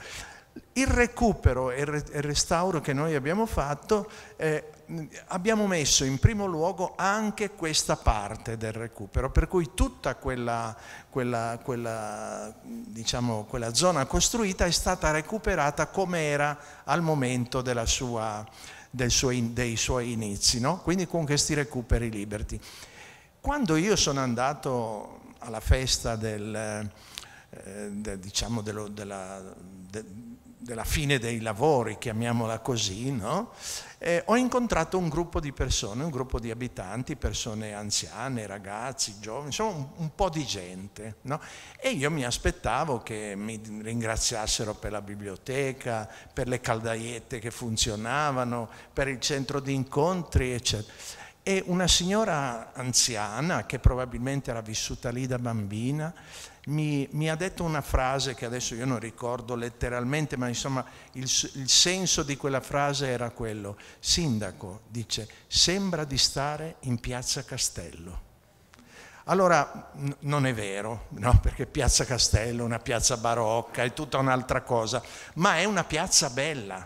Allora queste persone si sono riconosciute nella bellezza di quell'intervento, che naturalmente aveva comportato con sé anche tutte le altre cose che io vi ho detto, no?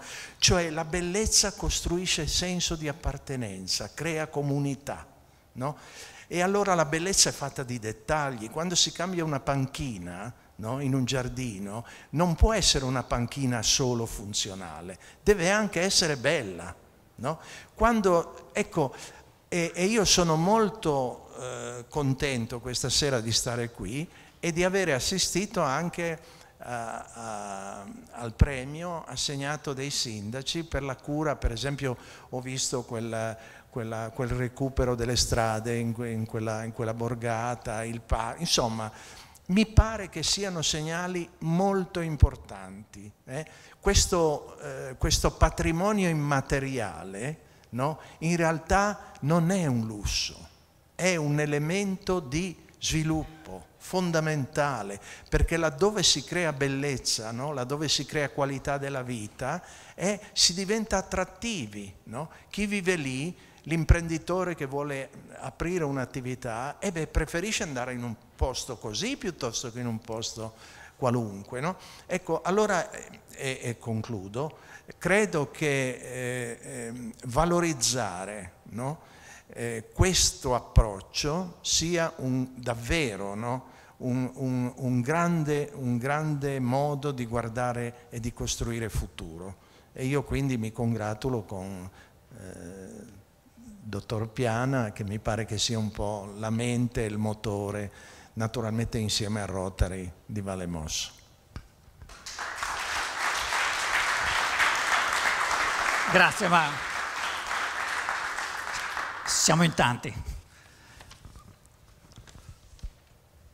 Maurizio di Robilan è il fondatore di Italia Patria della Bellezza. Sono stato qualche tempo fa nei suoi uffici e c'è un manifesto che mi sono annotato. Costruire l'identità competitiva dell'Italia per contribuire al rilancio del Paese trasformando il suo straordinario potenziale di bellezza in una risorsa strategica di sviluppo economico e sociale per fare dell'Italia la patria della bellezza. Dico, ma è la stessa, eh, guardo Nicola, è la stessa mission che ci siamo dati noi quando abbiamo incominciato a pensare al premio. Buonasera, grazie di avermi invitato, eh, grazie di questa testimonianza, quasi mi commuovo. Eh, io sono anni che combatto questa battaglia, convinto che ci sia un potenziale in questo Paese eh, che non tutti vedono, che non tutti capiscono, che non tutti apprezzano, che non tutti sanno percorrere. Eh, essere qui stasera è come scoprire che in realtà c'è speranza che in realtà succedono cose anche in luoghi poco noti, come qui per me, nel caso mio, eh, e dove invece si manifesta il senso e la voglia di ritrovare la bellezza. E guardate che la bellezza non è solo paesaggio e costruzioni, ma la bellezza è persone, la bellezza è armonia. Eh, chi trova bellezza trova pace nella propria anima. C'è un bellissimo libro di, di um, del professor Zoya eh, che si chiama Giustizia e Bellezza, io ve lo consiglio tutti, è un librettino grande così, eh, dove si scopre che dove c'è bellezza c'è giustizia e dove non c'è giustizia non c'è bellezza. Eh, mi, mi lego un po' a quello che diceva il sindaco, quelle finestre rimesse a posto, al di là di far sentire eh, la, la l'essere di quel luogo e quindi la radice, ma sono la cura, sono l'attenzione, sono il rendersi conto che piccole cose sono, danno valore. Penso sempre che questa nostra capacità di produrre bellezza, poi ne, ne, parliamo più a fondo, ma penso sempre ai ragazzini nelle chiese delle, delle piazze dei nostri paesi che giocano a palla e la palla va a battere contro un basso rilievo della chiesa che c'è lì davanti. La bellezza per noi è qualcosa che è così profonda che purtroppo non la vediamo, cioè molto spesso noi non ce ne rendiamo conto. Il giardino del vicino è sempre più verde e per noi lo è più che per molti altri paesi. Eh, quindi vedervi qua questa sera, ascoltare quello che ho ascoltato, vedere quello che ho visto, eh, mi riempie di speranza, nel senso che eh, anche piccole comunità come la vostra, quando guardo la cartina e vedo i comuni, è una briciola del nostro paese, eppure in quella briciola siete stati capaci di attivare una sensibilità intorno alla valorizzazione del bello. Eh, quindi è, è è molto bello vedere questo ed esserne testimoni e rafforza anche il desiderio di andare avanti a fare un grande progetto visionario che faranno i miei nipoti, ma non importa, bisogna portarlo avanti, però vedere voi certamente dà, dà fiducia. Eh, identità competitiva. Se io dico di American Dream, l'American Dream è l'identità competitiva degli Stati Uniti ancora oggi. Gli Stati Uniti sono, tra le tante cose che fanno, ma sono indubbiamente il paese che parla di innovazione al mondo, perché l'idea di superare la frontiera, l'idea di andare sempre avanti è radicato nella loro cultura.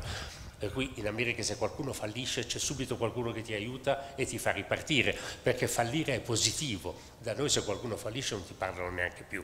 Allora, in quel paese l'idea dell'innovazione è innaturata alla loro cultura. Eh, se chiudete la portiera di una BMW o di una Audi risuona la Deutsche Qualität e sappiamo che quella capacità tedesca li rende unici al mondo. Se vedete uno scudetto rosso con una croce bianca sopra, dovunque l'ho andata ad apporre, quel servizio, quel prodotto, quell'esperienza vale 20% in più perché gli svizzeri sono reputati, sono forti, sono credibili e XYZ. Allora, ci sono pochi paesi che hanno un'identità competitiva chiara. Eh, se vi dico, non so io, il Belgio, il Belgio è carino, ma abbiamo proprio bisogno del Belgio? Uh, e, e, di questi ne potrei dire tanti altri, adesso povero Belgio, non ce l'ho col Belgio, ma è solo per dire, non si sa nemmeno dov'è. C'è un altro aspetto che trovo straordinario, il nostro paese è il paese che ha il disegno geografico più unico al mondo, se tu vai sulla Luna e guardi, l'unico paese che sa esattamente dov'è il nostro, ci sarà un perché.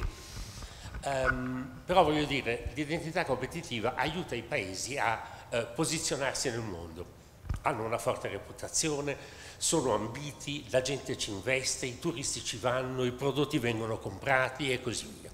Allora, non è, è, è fuori dubbio, perché ne abbiamo parlato fin qua, che l'identità competitiva di questo paese è la bellezza, perché la produciamo, perché ce l'abbiamo da che mondo è mondo, perché dovremmo saperla pro- um, um, proteggere meglio e promuovere meglio, ma indubbiamente ce l'abbiamo. Siamo il primo paese al mondo per siti UNESCO, il secondo è la Cina.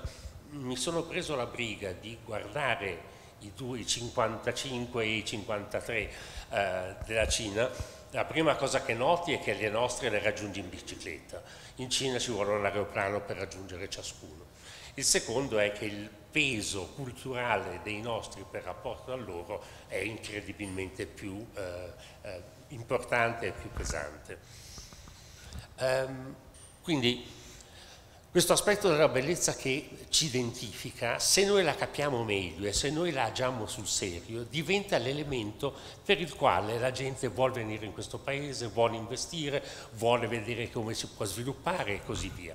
Abbiamo fatto una ricerca in uh, sei paesi, che, uh, sei paesi diciamo non quelli più importanti ma i paesi in via di sviluppo, chiedendo quali erano le prime dieci parole legate al, all'immagine, all'immaginario della bellezza. Beh, è incredibile, ma per tutti la prima parola è bellezza.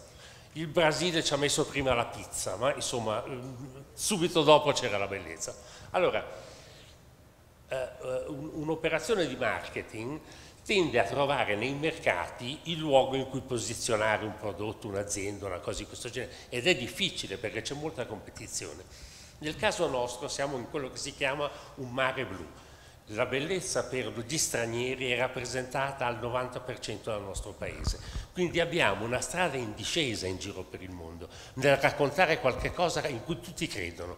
Dobbiamo però testimoniarla, dobbiamo gestirla, dobbiamo proporla, dobbiamo proteggerla. Eh, quindi c'è molto lavoro da fare, ma siamo in una posizione ideale per fare questo lavoro. Quindi benvengano queste cose e benvengano in tutto il Paese.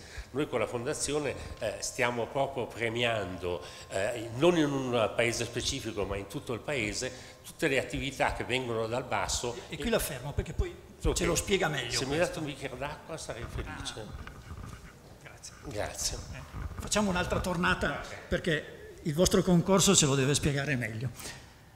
Roberta, io vorrei che tu mi chiarissi un dubbio. Eh, per me tu qui sei eh, quella del business, mm-hmm. cioè voi fate business. Vorrei capire eh, quello che spendete in arte, in bellezza, ma rende? Ci puoi dare dei numeri? Cioè eh, vale la pena o è proprio solo un'idea da mecenati? Avessi dovuto rispondere a questa domanda vent'anni fa avrei detto che non valeva la pena perché obiettivamente quando noi abbiamo ristrutturato la chiesina con, um, con i lavori di Sol Hewitt e di Vitt Tremlet io sono stata letteralmente presa dai produttori più storici che mi hanno invitata non a una classica degustazione ma mi hanno appesa a un muro dicendo che cosa state facendo, siete degli ingrati, non, non è questo che si fa, è uno sfregio al territorio. Morale, dopo vent'anni noi ci troviamo in una situazione eh, esattamente opposta perché eh, quell'oggetto è diventato un luogo talmente di culto per il nostro territorio allargato che in un anno porta 100.000 persone e quindi è diventato un oggetto che addirittura la Regione Piemonte utilizza come ehm, immagine di un uh, Piemonte che eh, è creativo, che ha coraggio anche di affrontare delle nuove sfide. Cosa ha portato a livello economico alla famiglia Ceretto? Mh, obiettivamente zero, perché poi noi l'abbiamo pensato veramente per essere condiviso. Quello è un edificio che probabilmente il 50% delle persone che va a visitarlo nemmeno sa che l'abbiamo realizzato noi, ma questo non era nostra intenzione sbandierarlo in maniera così pubblica. Eh, noi l'abbiamo pensato proprio perché ci piaceva l'idea di sperimentare questa nuova cosa con l'arte contemporanea. Al netto di tutto a, a, noi adesso ha creato una reputazione diversa, se proprio dobbiamo, mh, mm, dobbiamo dirlo, per cui eh, siamo produttori di vino che hanno un'attenzione particolare per il loro territorio e quindi una cura non solo per il prodotto ma dimostrano una mh, mm, riconoscenza per eh, le, le colline che li accolgono. Quindi dal punto di vista economico niente, però dal punto di vista dell'immagine eh, e dell'apprezzamento della famiglia Ceretto sul territorio e per il territorio ha significato veramente tanto. Tant'è che noi di progetti simili ne abbiamo, perché poi eh, obiettivamente quando inizi ad appassionarti all'arte non torni più indietro, un po' perché gli artisti sono delle persone che ti danno delle, eh, delle prospettive diverse e le cose e la realtà la vedono un, con un occhio completamente diverso da quello di un imprenditore. Eh, sono una fonte di spunto e, e di idee eh, sempre nuove e da, da coltivare. Um, e quindi um, dopo dieci anni che abbiamo sperimentato um, con grande successo anche delle mostre, perché abbiamo ospitato uh, degli artisti che obiettivamente uh, a volte mh, fanno fatica anche i più grandi musei ad avere tra, tra, tra, i loro ospiti, a partire dalla Marina Abramovic, Hansen Kiefer, Francesco Clemente, alcuni di loro sono anche di casa, perché poi alla fine noi accogliamo tutti e noi li prendiamo anche per la gola, mm, forse è, mm, è l'elemento che mm, è un valore aggiunto per, per i nostri progetti. Um, però ci siamo resi conto che ci piaceva l'idea di intervenire sul territorio, creare sempre qualcosa di più bello che sottolineasse e rendesse ancora più belli certi panorami. Per cui ehm, a breve, mannaggia gli ultimi due anni, non c'è stato possibile perché poi gli artisti che mh, questa volta abbiamo coinvolto non sono italiani, diventava difficile spostarli in Italia, eh, però il prossimo obiettivo è quello di ristrutturare una ristrutturare è una parola grande, però abbiamo acquistato una collina, fa ridere, però abbiamo acquistato una collina dove pianteremo un vigneto um, e questo vigneto sarà corredato da opere d'arte che verranno curate da diversi artisti, quindi chiamiamolo parco artistico, chiamiamolo mm, non lo so, un percorso, però l'idea è quello di valorizzare ulteriormente un luogo che è già molto bello di per sé perché comunque la vigna è una coltivazione molto curata, ehm, di elementi ancora più di valore aggiunti grazie all'opera di artisti. Questo nesso, questo nesso tra il business e il territorio, vedo là in fondo Luca De Marchi, io sono sicuro che per lui è musica, perché lui che eh, un, eh, sta facendo molto bene qui nella zona dell'Essona, eh, ha già fatto e, e, continua a fare molto bene, lui dice sempre posso fare tantissimo, ma se non migliora il territorio eh, tutto quello che faccio io non basta, il territorio deve, devo, io devo viaggiare col territorio e il territorio spero che viaggi con me. Ma infatti le langhe sono migliorate sensibilmente come percezione nel momento in cui eh, si è innescato questo meccanismo di emulazione positiva, ovvero i produttori più storici sono diventati un po' le mete da raggiungere per le nuove generazioni e quindi quando i produttori hanno iniziato a fare bene, i, i giovani hanno cercato veramente di corrergli dietro.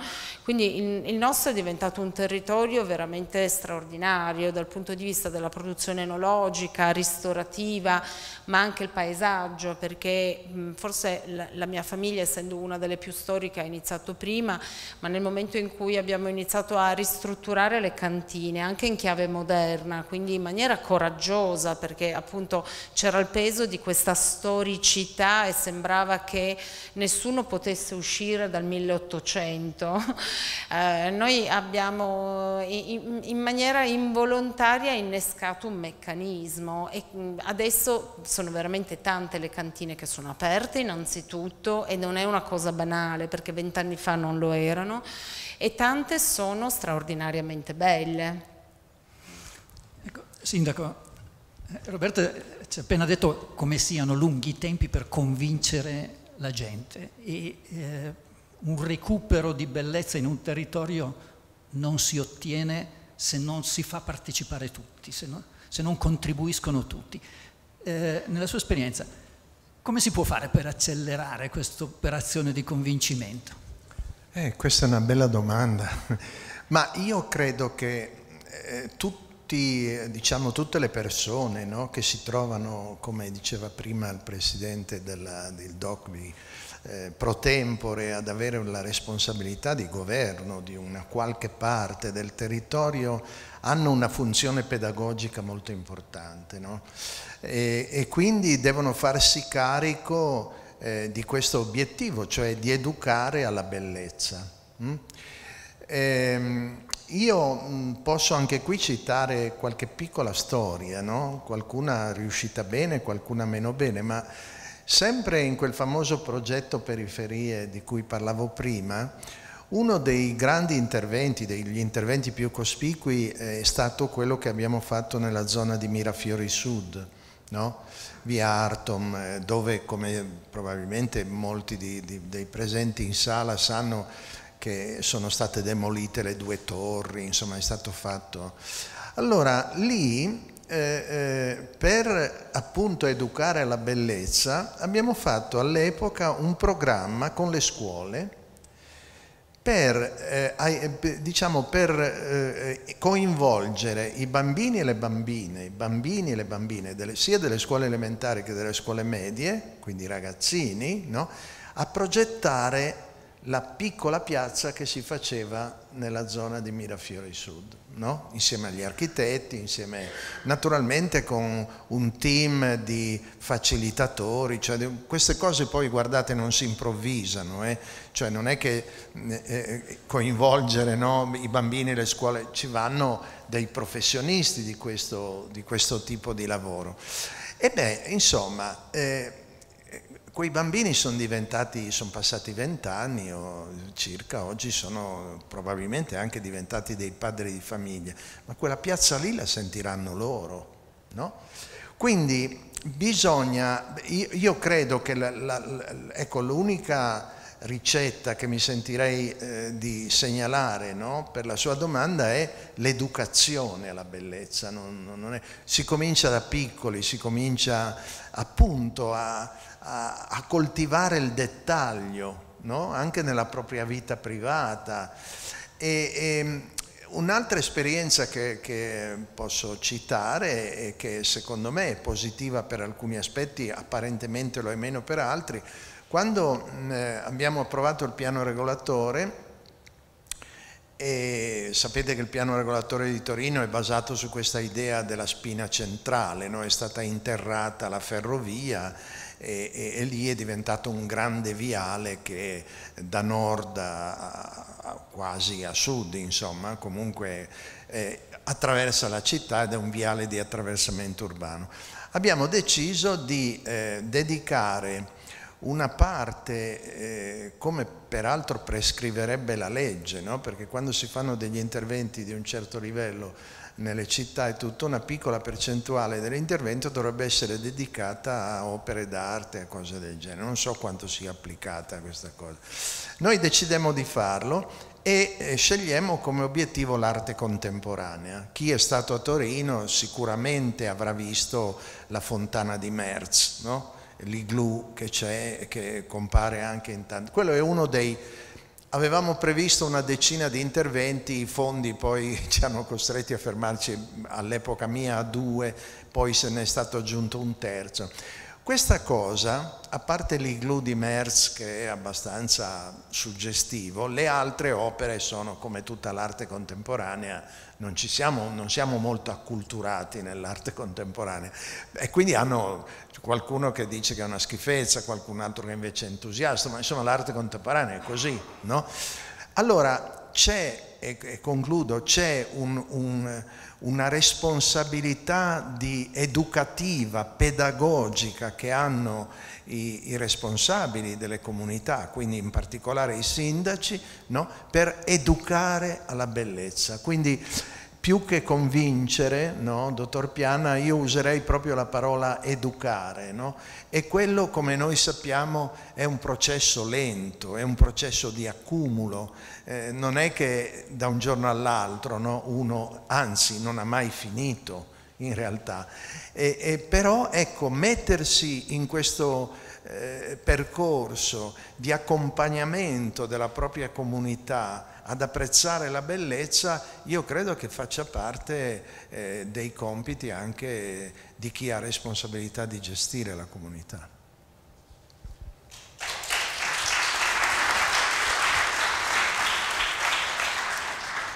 Ecco, ci racconta il vostro concorso, perché è bellissima, bellissima l'idea e poi ho trovato molto originale il premio. Sì, volevo dire una cosa, credo che la famiglia Ceretto e la marca Ceretto abbia eh, guadagnato molto da quello che ha fatto.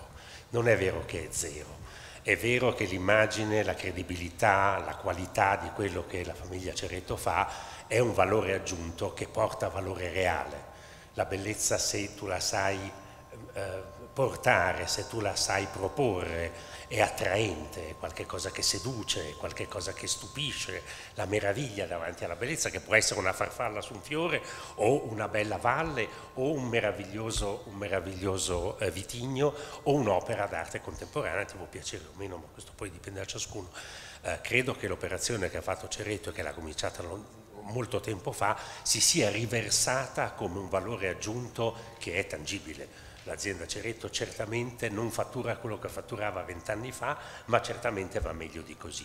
Eh, questo per dire che la bellezza quando è autentica, quando è parte di una cultura, diventa anche produttrice di sviluppo, non è soltanto un piacere farla. Um, per questo che diciamo che appunto è un'identità competitiva per noi, perché noi quella la sappiamo fare meglio degli altri e le dimostrazioni del Made in Italy, sapete che il Made in Italy quando è nato eh, è una frase ed è, un conio tedesco eh, fatto subito dopo la guerra e voleva dire ocio, made in Italy, cioè è una porcata. E questo noi siamo stati capaci di tradurlo nel made in Italy, nel made più, più invidiato nel mondo. Eh, e questo è, ci, ci, eh, voglio dire, testimonia il fatto che noi davvero la bellezza ce l'abbiamo nelle mani. Um, il concorso. Allora, ehm, abbiamo deciso, visto che la nostra professionalità viene dalla comunicazione, abbiamo deciso di fare un, un bando eh, che eh, premiasse le attività sviluppate già in buon stato di avanzamento eh, che fossero prodrome di eh, bellezza, di cura, di creazione, di produzione, tutto ciò che può avere a che fare con la bellezza che naturalmente ha mille aspetti. Noi oggi abbiamo ripetuto la parola bellezza, ma per ognuno di noi la bellezza vuol dire tante cose, che è un po' anche il limite di questa parola purtroppo. Ma detto questo eh, abbiamo lanciato un bando, un bando nazionale, abbiamo avuto più di 70 eh, proposte e non avevamo i soldi per metterlo sul Corriere della Sera, quindi è stato un po' word of mouth ed è stato mandato in giro così e da tutto il paese ci sono arrivate tutta una serie di proposte. L'idea qual è? È di individuare quelle attività fatte dai cittadini o fatte dalle ONG o comunque da attività eh, non, non a scopo di lucro che lavorando intorno alla bellezza hanno bisogno di crescere e di queste ce ne sono a centinaia, stiamo tra l'altro eh, preparando un Atlante della bellezza di mezzo, chiamiamola, non la grande bellezza, non la piccola, ma tutta quella che i cittadini italiani producono e sviluppano. E abbiamo un Atlante con già 200 case interessanti e andremo avanti ad arricchirlo. Um, eh, quello che abbiamo fatto quindi è stato quello di dire beh, che cosa hanno bisogno, di che cosa hanno bisogno sono bravissimi a fare quello che fanno, ma non sanno comunicare. Hanno un problema di eh, risorse ovviamente, ma più ancora hanno un problema di professionalità. Non sanno come si fa a comunicare quello che fanno e senza comunicazione sono cose che restano sottoterra. E quindi, visto che quello è il nostro background culturale e professionale, ci siamo dedicati a offrire quello. Noi diamo eh, consigli, supporto e quattrini per comunicare. Allora,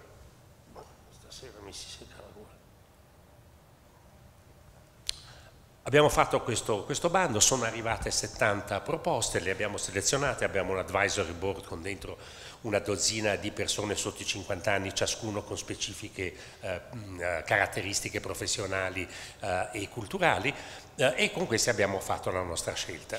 Di 70, fate conto che 40 erano di livello non sufficiente, non abbastanza, cioè non corrispondevano tutte agli dettami del, del bando, le altre 30 erano assolutamente fantastiche. Noi ne abbiamo premiate 4 perché questa era la possibilità che avevamo, due dando denaro, due dando progetti in kind per sviluppare questo. Tra l'altro uno dei progetti è questa eh, questa, questa, fondazione che si chiama Muse eh, e che è una fondazione che porta la bellezza nelle scuole e soprattutto nelle scuole disagiate con dei programmi che durano tutto l'anno portando pittori, artisti, eh, teatranti, eh, musicisti dentro le scuole e facendo fare un percorso a queste scuole dura come dicevo tutto il, il, il percorso curricolare. Oggi toccano 15.000 bambini, sarebbe bello che ne toccassero 150.000, però eh, sono, sono quelle attività che come giustamente lei diceva, noi dobbiamo educare alla bellezza o alla riscoperta della bellezza che abbiamo in noi. Quindi una di queste l'abbiamo premiata. Ce ne restavano 25-26 cosa fare, non potevamo prenderle in mano noi, allora abbiamo chiamato a raccolta eh, delle agenzie di comunicazione eh, che facessero il nostro mestiere, che ne facessero, ma che in qualche modo masticassero bene di comunicazione. È stato molto bello perché otto di queste hanno adottato un progetto, quindi noi oggi con la Fondazione abbiamo in campo 14 progetti uno è i Lazzaretti veneziani che avevamo fatto l'anno prima, che sono in corso e che la Fondazione ha fatto nascere e sviluppare. Alcuni finiscono nell'arco dell'anno, altri invece andranno avanti eh, per altro tempo, ma è stato molto bello trovare una comunità professionale che di solito è in competizione continua, eh, che ha trovato invece interessante quello di fare un'offerta un di partecipazione insieme eh, e quindi di adottare progetti. A novembre lanciamo il nuovo bando, abbiamo già delle grandi aziende come la TBVA o la Sace Saci che hanno detto che, che, che, adotteranno un paio di progetti e poi cerchiamo degli sponsor, abbiamo speriamo quest'anno qualche sponsor che mh, farà un premio particolare all'interno del bando, un premio che è costruito insieme alla fondazione eh, e che eh, porterà a um, premiare eh, le, le, diciamo, i partecipanti al bando che hanno alcune caratteristiche che saranno state decise con lo sponsor che produce il, il, il premio. Insomma, piano piano, ma continuiamo a cercare di seminare questo senso che la bellezza è qualcosa che per noi è importante e che c'è e di cui dobbiamo essere consapevoli, quindi anche noi cerchiamo di educare alla bellezza attraverso queste attività perché sono quelle che portano in emersione tutto ciò che non si vede o non si sa e che lentamente mi auguro portino a una consapevolezza maggiore di quanto questo sia il nostro patrimonio. Eh, oggi il, il, Ministro degli Esteri, per quanto vale, ha fatto però un grande discorso in Puglia su questo tema, eh, proprio dicendo come la bellezza sviluppa e qui e là. Insomma, io sono dieci anni che semino staffarino, piano piano vedo che qualche piantina cresce. Andiamo avanti tutti a lavorare su questo tema, credo che nel tempo riusciremo nel nostro obiettivo. Certo.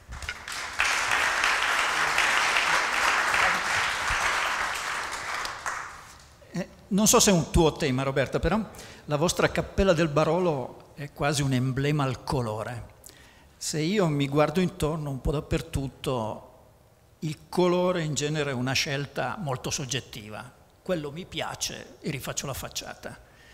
Però il colore poi, l'insieme delle facciate fanno l'ambiente, fanno la gradevolezza del territorio. Voglio dire che saperli scegliere bene, dove il bene sta, in modo sufficientemente uniforme per poter leggere quelle facciate insieme, non come l'espressione del singolo progettista o geometra o bianchino, eh, diventa importante.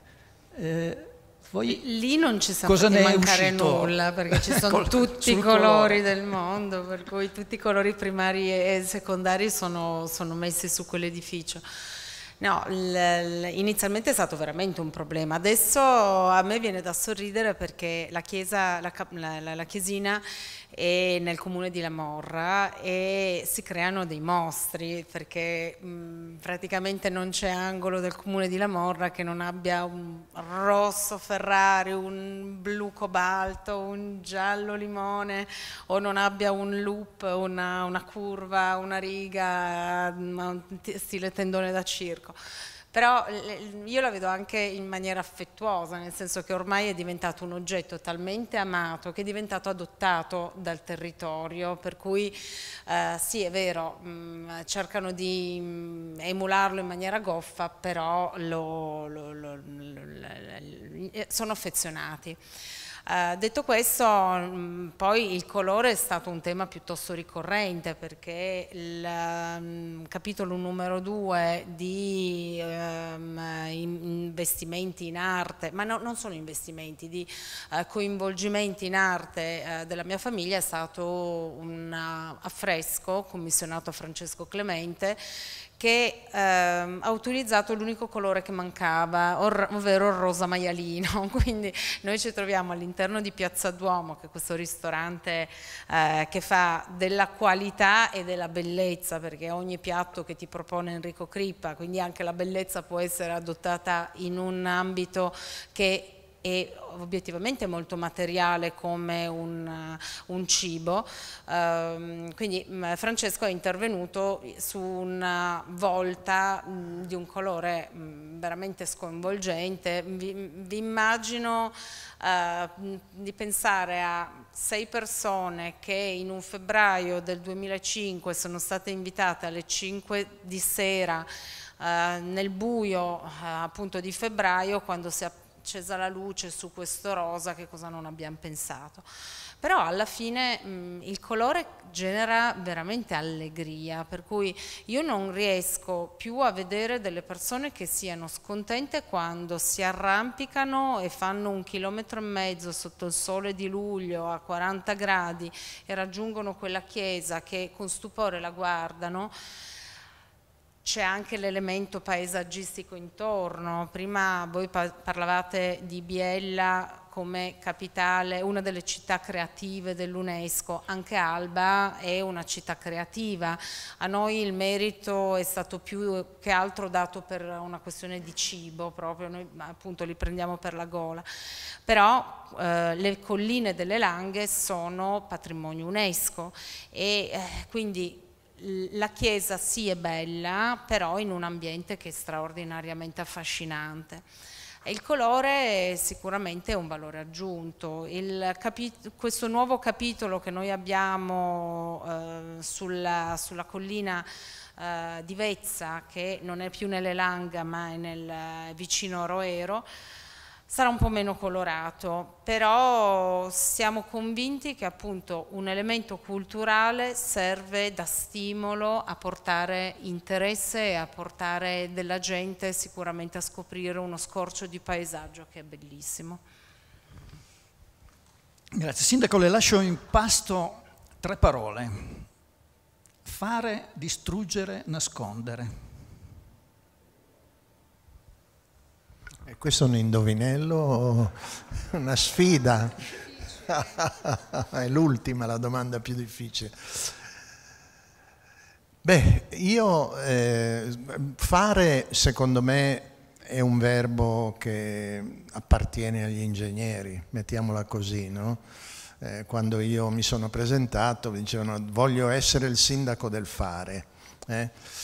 Ehm, quindi è una sfida, eh, perché fare vuol dire, secondo me, avere innanzitutto una visione sistemica.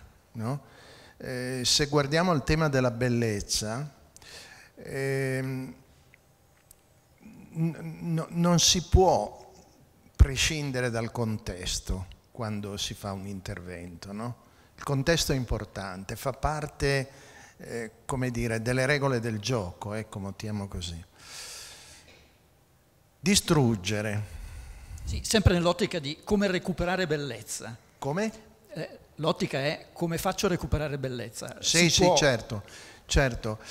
Distruggere. Io, io mh, mm, eh, credo che si dovrebbe avere il coraggio, no? parlo degli ambienti urbani, eh, di, di, eliminare eh, le cose più brutte che sono state fatte in alcuni decenni che sarebbe meglio dimenticare. No?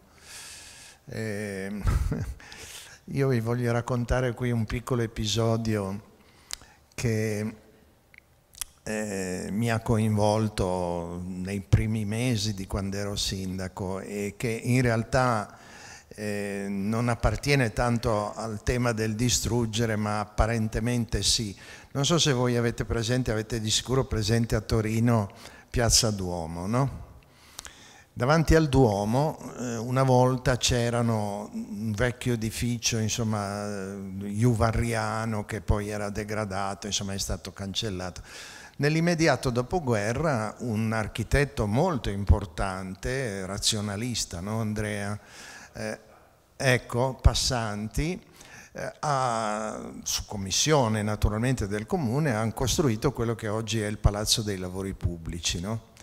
eh, che è un, un, un, pezzo di architettura importante e che però, come dire, molto discusso a Torino. Allora io un giorno sono andato in, in una scuola elementare eh, una quinta credo di ricordare, c'erano questi bambini e bambine e la maestra gli aveva fatto, gli aveva fatto una domanda di cose da far fare al sindaco. No?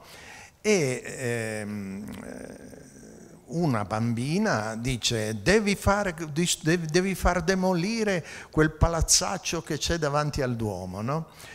E io mi sono lasciato trasportare dall'entusiasmo di questa bambina, io sono, insomma non è che sia proprio rozzo, ma non ho la competenza, la, la, la, la conoscenza e ho detto sì sì, ma mi hai ragione, naturalmente sono finito su tutti i giornali, no? perché eh, quando un sindaco dice qualcosa eh, finisce sul giornale, specie se questa cosa fa notizia.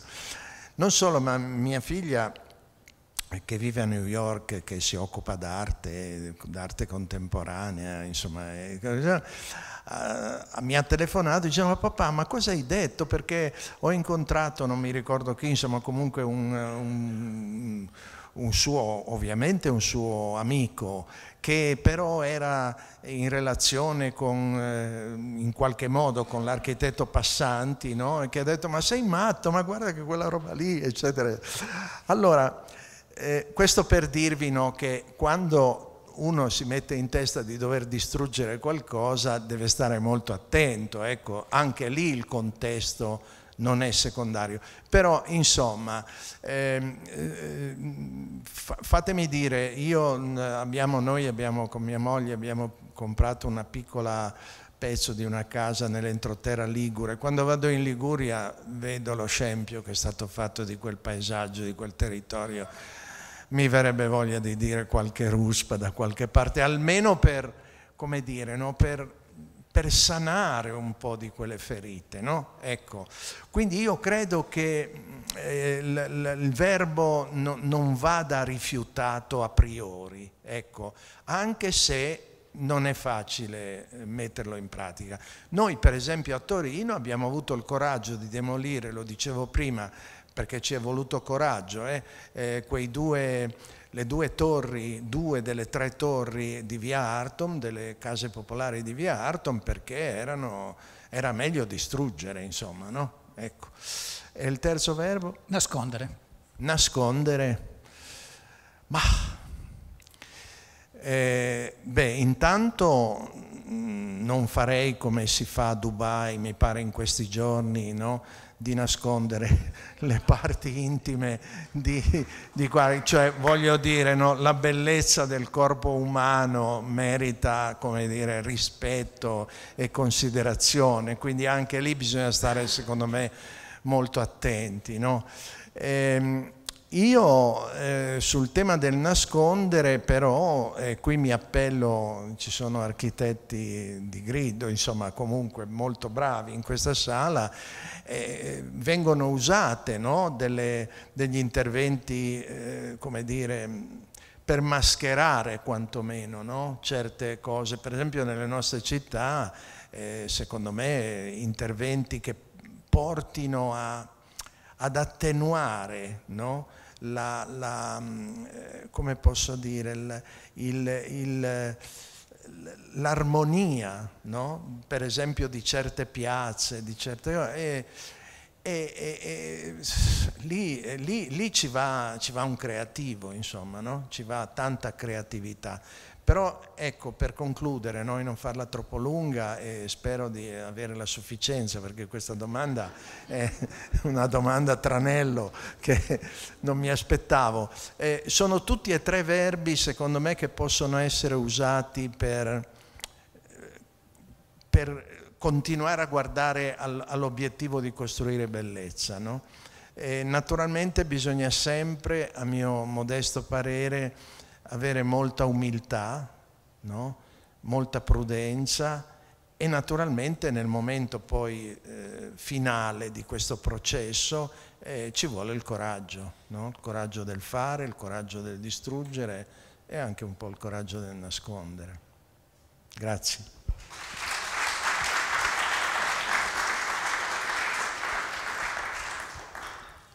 Eh, quando abbiamo scambiato quella breve chiacchierata io mi, mi ero notato una parola, i talenti.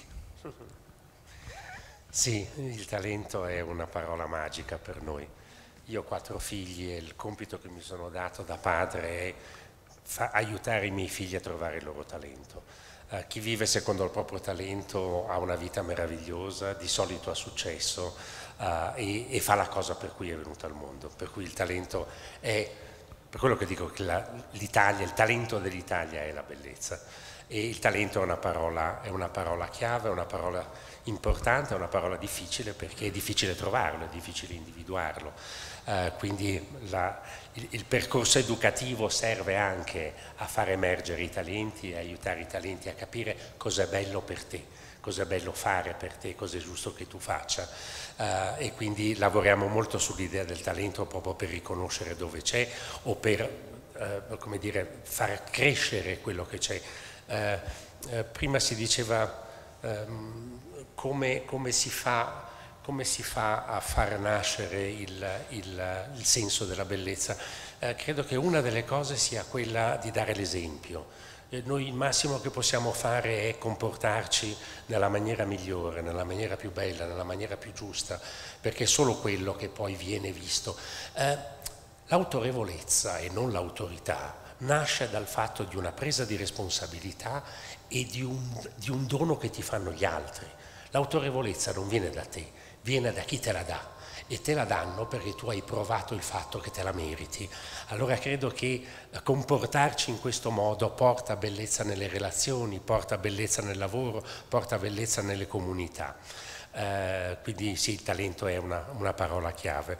Volevo interloquire sulle cose che sono state dette perché la parola colore è molto importante, la parola colore può trasformarsi in grande bellezza, ma può trasformarsi anche in un disastro. E Penso che in territori dove purtroppo le costruzioni fatte negli anni che sappiamo ci sono e belle non sono, eh, se i sindaci o la, la, le giunte comunali potessero lavorare sul colore in maniera più attenta, potrebbero nascondere o non distruggere perché magari c'è dentro la famigliola, ma nascondere molto di più. Penso ai villaggi greci. Immaginate i villaggi greci cosa sono, il bianco e azzurro è assolutamente eh, la regola. Belli, brutti non importa, non lo vedi perché sono una macchia meravigliosa di colore che è sempre coerente. Allora, credo che è, un, è, una piccola cosa perché non richiede un granché, ma richiede grande serietà e, e, e, competenza da parte delle istituzioni che possono munirsi di collaboratori per farlo, ma credo che eh, l'aiutare a nascondere il brutto usando bene il colore o togliendo il colore dove c'è potrebbe essere un piccolo passo che però già fa moltissimo. Cosa di cui sono più orgoglioso è che quando facciamo il piano regolatore abbiamo fatto il piano del colore della città. Eh? Per cui, per esempio, in tutte le zone protette, per esempio in collina, non so, io, noi che abitiamo insomma, in, in, a ridosso della collina, per dipingere la nostra casa abbiamo dovuto avere l'autorizzazione sì. dal comune per avere i colori. Quindi ha perfettamente ragione, il colore è un elemento straordinario. E noi abbiamo il paese devastato da cose orripilanti, basterebbe solo quello e faremmo già un grande passo avanti. Eh, colgo l'occasione anche per ragionare sulla bellezza del territorio in cui siamo, perché poi oggi si parla di questo. E eh, volevo che non dimenticaste che qui c'è una bellezza che non è quella che vedo, ma è quella che so, è la bellezza del fare. Questo è un territorio che ha fatto cose straordinarie. Allora, attenzione a cancellare quella bellezza per trovare solo quella della natura o quella dell'architettura, che in alcuni luoghi c'è ma in altri non c'è. Noi sappiamo il disastro della valle che va da qui all'autostrada e le costruzioni i capannoni che ci sono dappertutto. Sono realtà con le quali dobbiamo fare i conti. Allora, mettere a valore la bellezza che noi abbiamo in questo territorio è assolutamente sacrosanto. Ma io non so se basta ad attirare i 10.000 turisti che noi vogliamo avere. Io penso che la bellezza del saper fare e della tradizione del fare che c'è qui dentro, cioè il DNA di questo, quando noi parliamo, quando noi facciamo la marca di un'azienda, è il DNA che conta, è la storia che l'ha creata, è il sapere che c'è dentro che fa la, la capacità di costruirne un'immagine. Allora, personalmente vi stimolerei a pensare a quel valore, cioè riportare in luce l'occasione di fare bellezza nei vostri luoghi. C'è una grandissima tradizione del fare che potrebbe, che potrebbe trasformarsi in un'attrazione per imparare, fare e coinvolgere comunità nel fare insieme e quindi anche gente che viene da fuori. Eh, quindi ecco, eh, vorrei che la, quella bellezza non fosse dimenticata perché potrebbe essere un grande valore aggiunto piena di senso. L'UNESCO vi ha premiati per questo, non per le belle chiese. Eh, e questo è un valore che secondo me potrebbe trasformarsi nell'attrattore principale al quale poi corredarlo con le bellezze che il territorio può offrire. È un'idea che mi è venuta mentre vi sentivo parlare, ma ecco, trovo che questo è un territorio che ha un'anima che se no viene dimenticata e che potrebbe produrre del bene, dell'attrazione, della ricchezza e della crescita. Un'ultima cosa, l'esperienza dei comuni.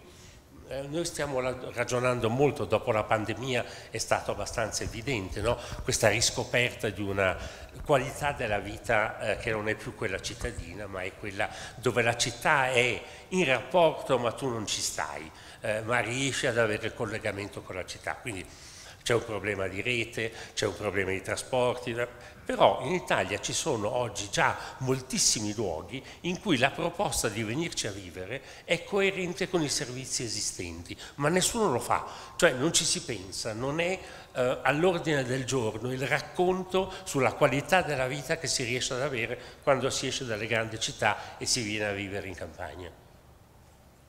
Allora, guardare alle reti dei borghi o alle reti dei, dei, dei, dei, dei comuni, per cercare di trovare un sistema, noi, noi stiamo lavorando sui borghi sibillini dove vorremmo fare questa operazione, ma dove si guarda il sistema dei servizi che tra le, i, i, comuni si riescono a mettere insieme. Non tutti i comuni possono avere l'ospedale, non tutti i comuni hanno il ristorante, non tutti i comuni, ma l'insieme dei comuni invece offre una vivibilità molto facile da proporre, dove la distanza tra un comune e l'altro è 20 minuti, non è due ore e mezzo e dove quei comuni con due arterie possono essere legati a un centro medio e poi a un 100 grande. Cioè ragioniamo sull'attrattività dei nostri territori guardando a quelle che sono le infrastrutture che abbiamo a disposizione per farne un tema di racconto e un tema di come dire, possibile fruizione fruibilità di una qualità e di un tipo di vita diverso da quello della città, soprattutto di chi in città vive male, perché c'è tanta gente che vive bene, ma c'è anche tanta gente che vive male e che in campagna vivrebbe meglio, spenderebbe di meno, avrebbe una qualità della vita migliore. Quindi secondo me c'è un, un, un potenziale, noi siamo il paese dei borghi, pensate agli 8.000 borghi che abbiamo, connettere i borghi tra di loro e farli diventare un'entità di attrazione nel loro insieme, costruendo una rete di servizi che non è tutta in un luogo ma sparsa come già esiste, potrebbe essere un bel progetto da portare avanti in questo Paese. Grazie.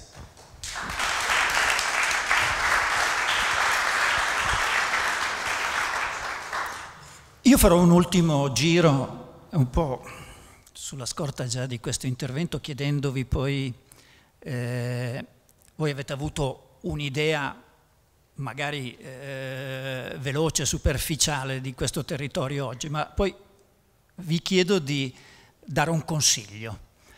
Abbiamo però il tempo per, eh, se ci fosse qualche domanda dalla platea. Qualcuno vuol chiedere qualcosa ai nostri relatori?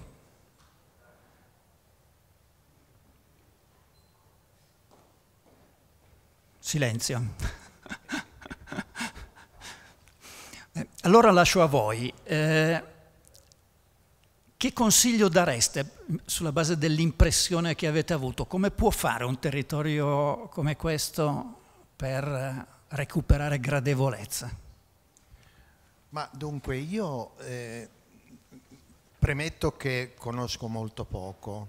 Eh. Eh, sono venuto credo due volte da queste parti. Una volta sono andato all'Oasi Zegna eh, qualche tempo prima delle Olimpiadi eh, ero stato invitato dalla, dalla signora Laura Zegna, si chiama, ehm, perché mi pare di ricordare che ci fosse l'ipotesi di un intervento sull'impianto del sciistico del, lì della zona. Quindi, e sono rimasto incantato, lo dico perché è stata una cosa bellissima. E poi sono venuto a Valle Mosso quella sera in cui ho conosciuto il dottor Piano. Quindi non conosco questo, questa, mm, per cui sto, sono molto cauto, no? perché mm, insomma bisogna parlare delle cose che si conoscono almeno un po'.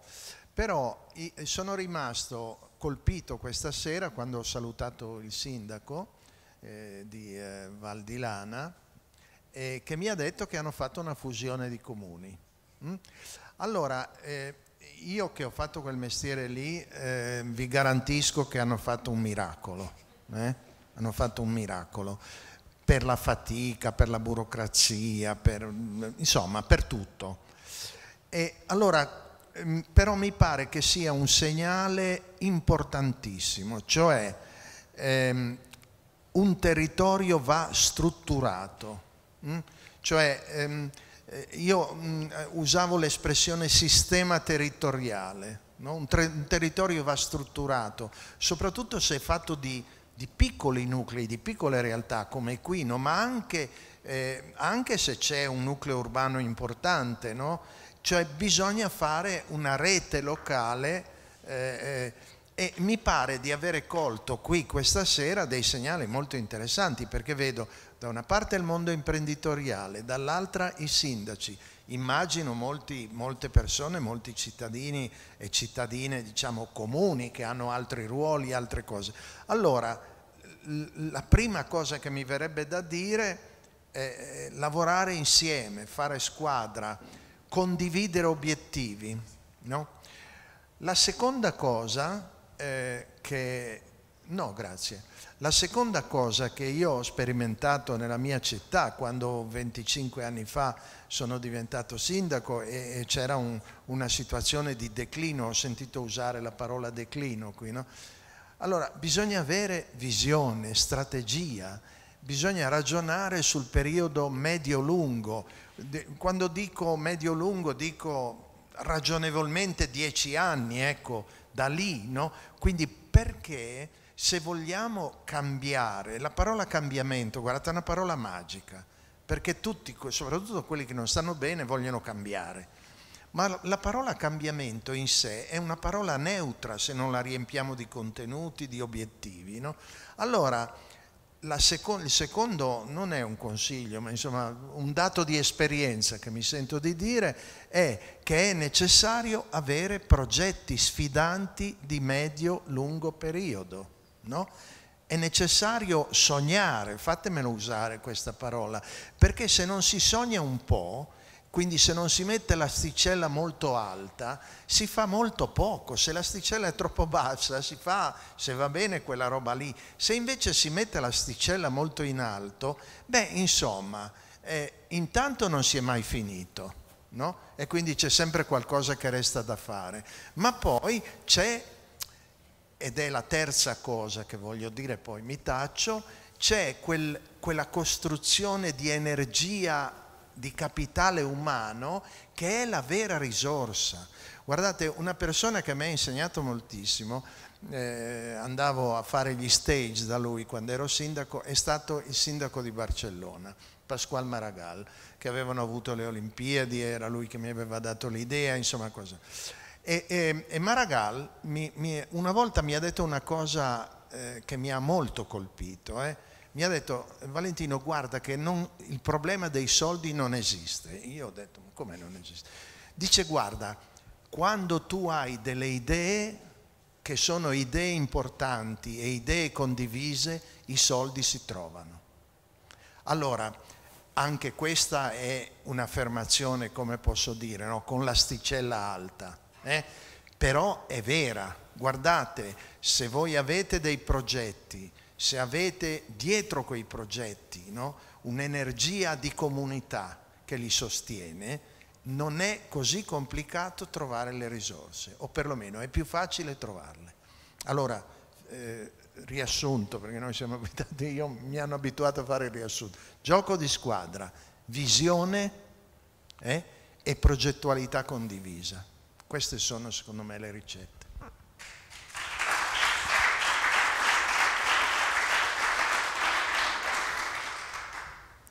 Roberta, per tu... fortuna il dottor Castellani ha già praticamente dato chiavi di, riso- di risposta alla, domanda, alla, tua domanda. Allora, dunque, no, perché per noi le langhe fare... sono già un'asticella già un sì, po' alta. Eh? Però posso fare una considerazione rispetto a, a dove siamo adesso. Allora, quando ci siamo sentiti la prima volta Uh, per me, come ti dicevo, Biella era una città che avevo visitato quando avevo 15 anni per un torneo di tennis era, e poi um, nel 2000 al, um, per un convegno organizzato uh, da Confindustria, quindi due volte che ero stata a Biella. In queste, in queste, settimane, soprattutto andando a Milano, la città è tappezzata da um, poster, esattamente. Quindi qualche cosa si sta muovendo, obiettivamente eh, c'è un, un, fermento, un desiderio che è già un, un, enorme passo avanti rispetto agli obiettivi che vi siete posti. Ha ragione il dottor Castellani a dire che bisogna avere veramente una, mh, delle idee ben chiare e, una, e degli obiettivi ben chiari e qua mi sembra che voi stiate coltivandoli, lo stesso premio che eh, oggi avete, avete dato è andato a premiare delle piccolissime realtà che cercano e credono in quello che è questo territorio. E mi ha fatto veramente molto eh, piacere vedere come uno dei premi sia stato dato a un, non a un italiano, a un progetto italiano. E quindi come in realtà il vostro territorio sia percepito già come straordinariamente bello da qualcuno che viene dal di fuori e quindi tante volte noi stessi non ci rendiamo conto di dove siamo e quanto sia bello il luogo che abitiamo. E, è un po' anche quello che succedeva da noi mh, fino a una ventina d'anni fa, quando poi abbiamo aperto gli occhi e abbiamo veramente iniziato a investire, a credere, a costruire con eh, delle prospettive per portare sempre più gente nelle nostre colline. Attenzione perché poi per esempio cosa si sta verificando da noi è che le infrastrutture che anche qua non siete ben messi, dalle nostre parti anche è un problema enorme perché non abbiamo treni, abbiamo sì un'autostrada però poi un'autostrada che finisce ad Alba e non riesce a proseguire per arrivare fino alla capitale della provincia che è Cuneo ed è una discussione che va avanti da una trentina di anni. Quindi attenzione che nel momento in cui un territorio che non è abituato perché noi ci siamo trovati da, ad avere mh, pochissime presenze e concentrate solamente in un periodo molto specifico che era quello del settembre, ottobre, novembre, proprio perché c'era la vendemmia, c'era il tartufo e quindi eh, si concentrava tutto quello che sembrava potesse essere l'unico modo di, l'unica attrazione per il territorio ad avere mh, problemi ad accogliere perché non abbiamo parcheggi, non abbiamo strade che possono essere sufficientemente capienti e capillari, quindi eh, occhio che se si fanno dei progetti bisogna anche poi riuscire a fornire delle infrastrutture che siano sufficientemente adeguate ad accogliere tutta eh, la passione che poi il turista o l'appassionato dimostra per il territorio.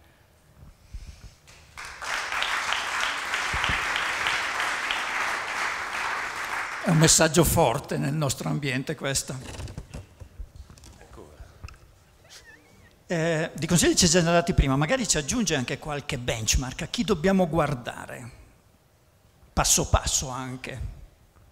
Oh, beh, adesso io non sono un esperto di questo, però certamente eh, le langhe hanno dimostrato, come diceva prima la signora Ceretto, una capacità di emulazione, ha detto prima, no? l'esempio, loro hanno dato l'esempio e l'esempio si è scatenato, quindi quell'area è stata certamente un'area che era dimenticata e che ne è emersa invece in maniera straordinaria un'altra è sempre legata al vino, ma eh, ci sono delle ragioni, è la Franciacorta. La Franciacorta non esisteva 30 anni fa, oggi è un punto di riferimento e intorno alla Franciacorta il ricevimento, la capacità di, di accogliere è stata sviluppata, è fatta. Quindi eh, ci sono degli esempi, ce ne sono probabilmente tanti altri, però eh, eh, a guardare bene si vedono.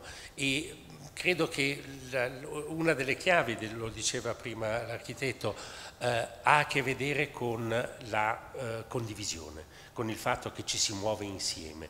Quando Ceretto è partito ha poi in qualche modo fatto strada e gli altri hanno seguito e oggi sono una comunità. Eh, è gente che si parla, è gente che si scambia, è gente che attira insieme, attrae assieme. Quindi eh, è davvero un lavoro che parte dal basso e che parte da quello che voi oggi avete dimostrato, privato, pubblico e, eh, e, e cittadini. Um, ecco, gli, due esempi che mi sono venuti in mente sono questi, ma certamente ce ne sono molti altri. Dovrei pensarci un attimo e, e, e riflettere, però se, se, andiamo a guardare ne troviamo e, e devono un po' guidarci nella, nella, nella, capacità di, partendo dal basso, portare tutti a bordo un progetto che poi deve avere sogno, come giustamente dicevi eh, il sogno muove, il sogno porta bellezza, il sogno riempie e chiama i talenti, insomma eh, sognare è importante, i progetti devono essere alti. È chiaro che eh, io che ho un progetto altissimo so che non ci arriverò mai, ma bisogna anche che l'asticella sia messa in un posto dove poi ci arrivi, perché sennò è bello sognare ma poi sbatti. Quindi sogno sì, difficoltà certamente, non avere paura di sognare, ecco. poi un po' di concretezza alla fine ci vuole, se no restiamo, restiamo operari. Bene.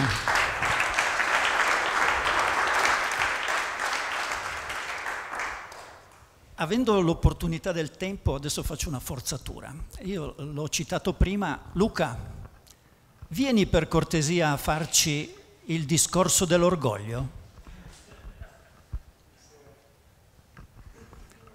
Eh, Luca De Marchi è importato a Biella e forse il vantaggio del venire da fuori gli consente di avere di queste visioni. Buonasera, io non ero preparato per dire nulla in realtà, per cui ehm, grazie Paolo, è, è un dispiacere partecipare ai tuoi eventi. eh, ho avuto molto su cui riflettere in quello che è stato detto, per cui più che fare un discorso su commissione... No, no, io voglio quello dell'orgoglio. è in parte quello. Una delle cose che secondo me qua bisogna sottolineare parecchio è quello che si è detto delle langhe, cioè che vent'anni fa non erano quello che sono oggi. E io casualmente vivevo lì vent'anni fa, perché facevo l'università ad Alba.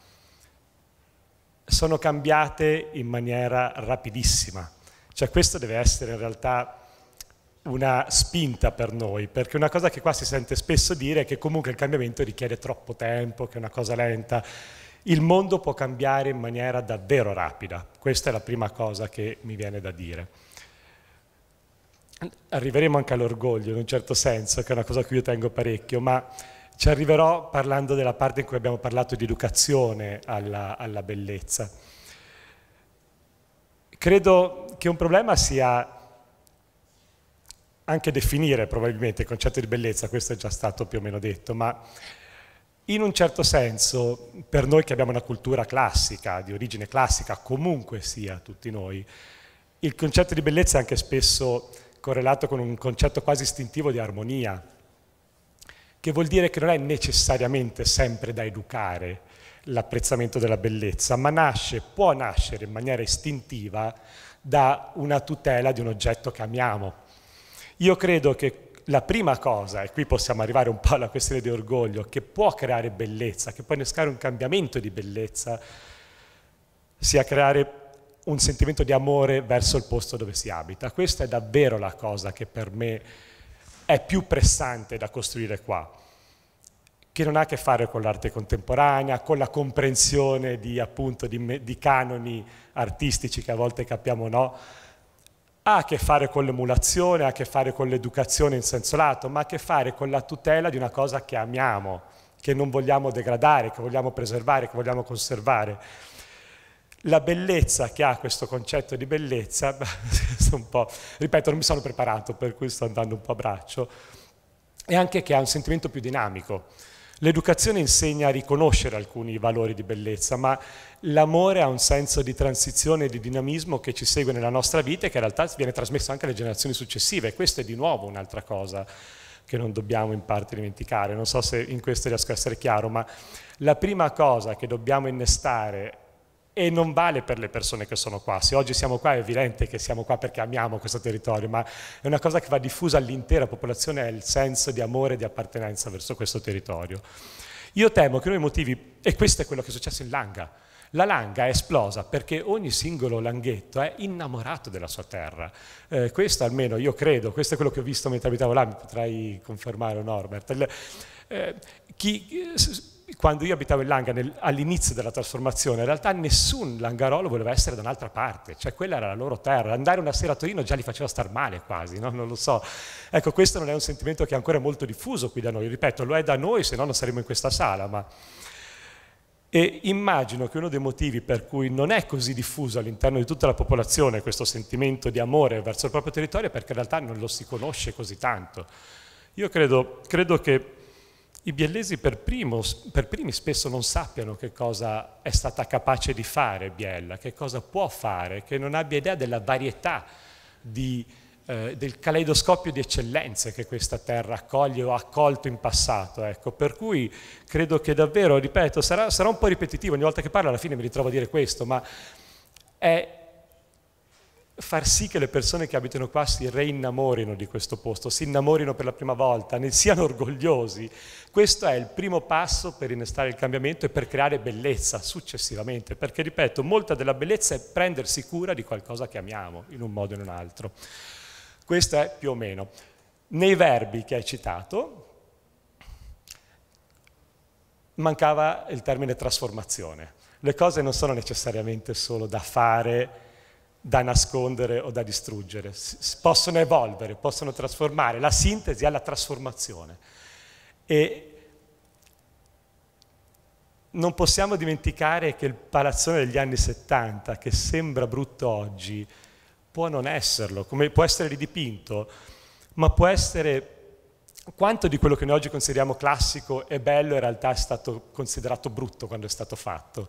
Quanto noi consideriamo eh, mancanti di cultura gli americani che distruggono una casa di Frank Lloyd Wright o cose così, semplicemente perché non, non risponde più ai canoni attuali, no? in un certo senso. Per cui è trasformare la chiave, non necessariamente distruggere, non necessariamente nascondere. Ecco, questo è un po' quello che posso dire oggi, presa alla sprovvista e in maniera assolutamente improvvisata.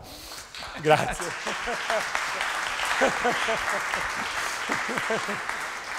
Grazie. Grazie Luca. Non mi scuso neanche perché sapevo che te la saresti cavata benissimo.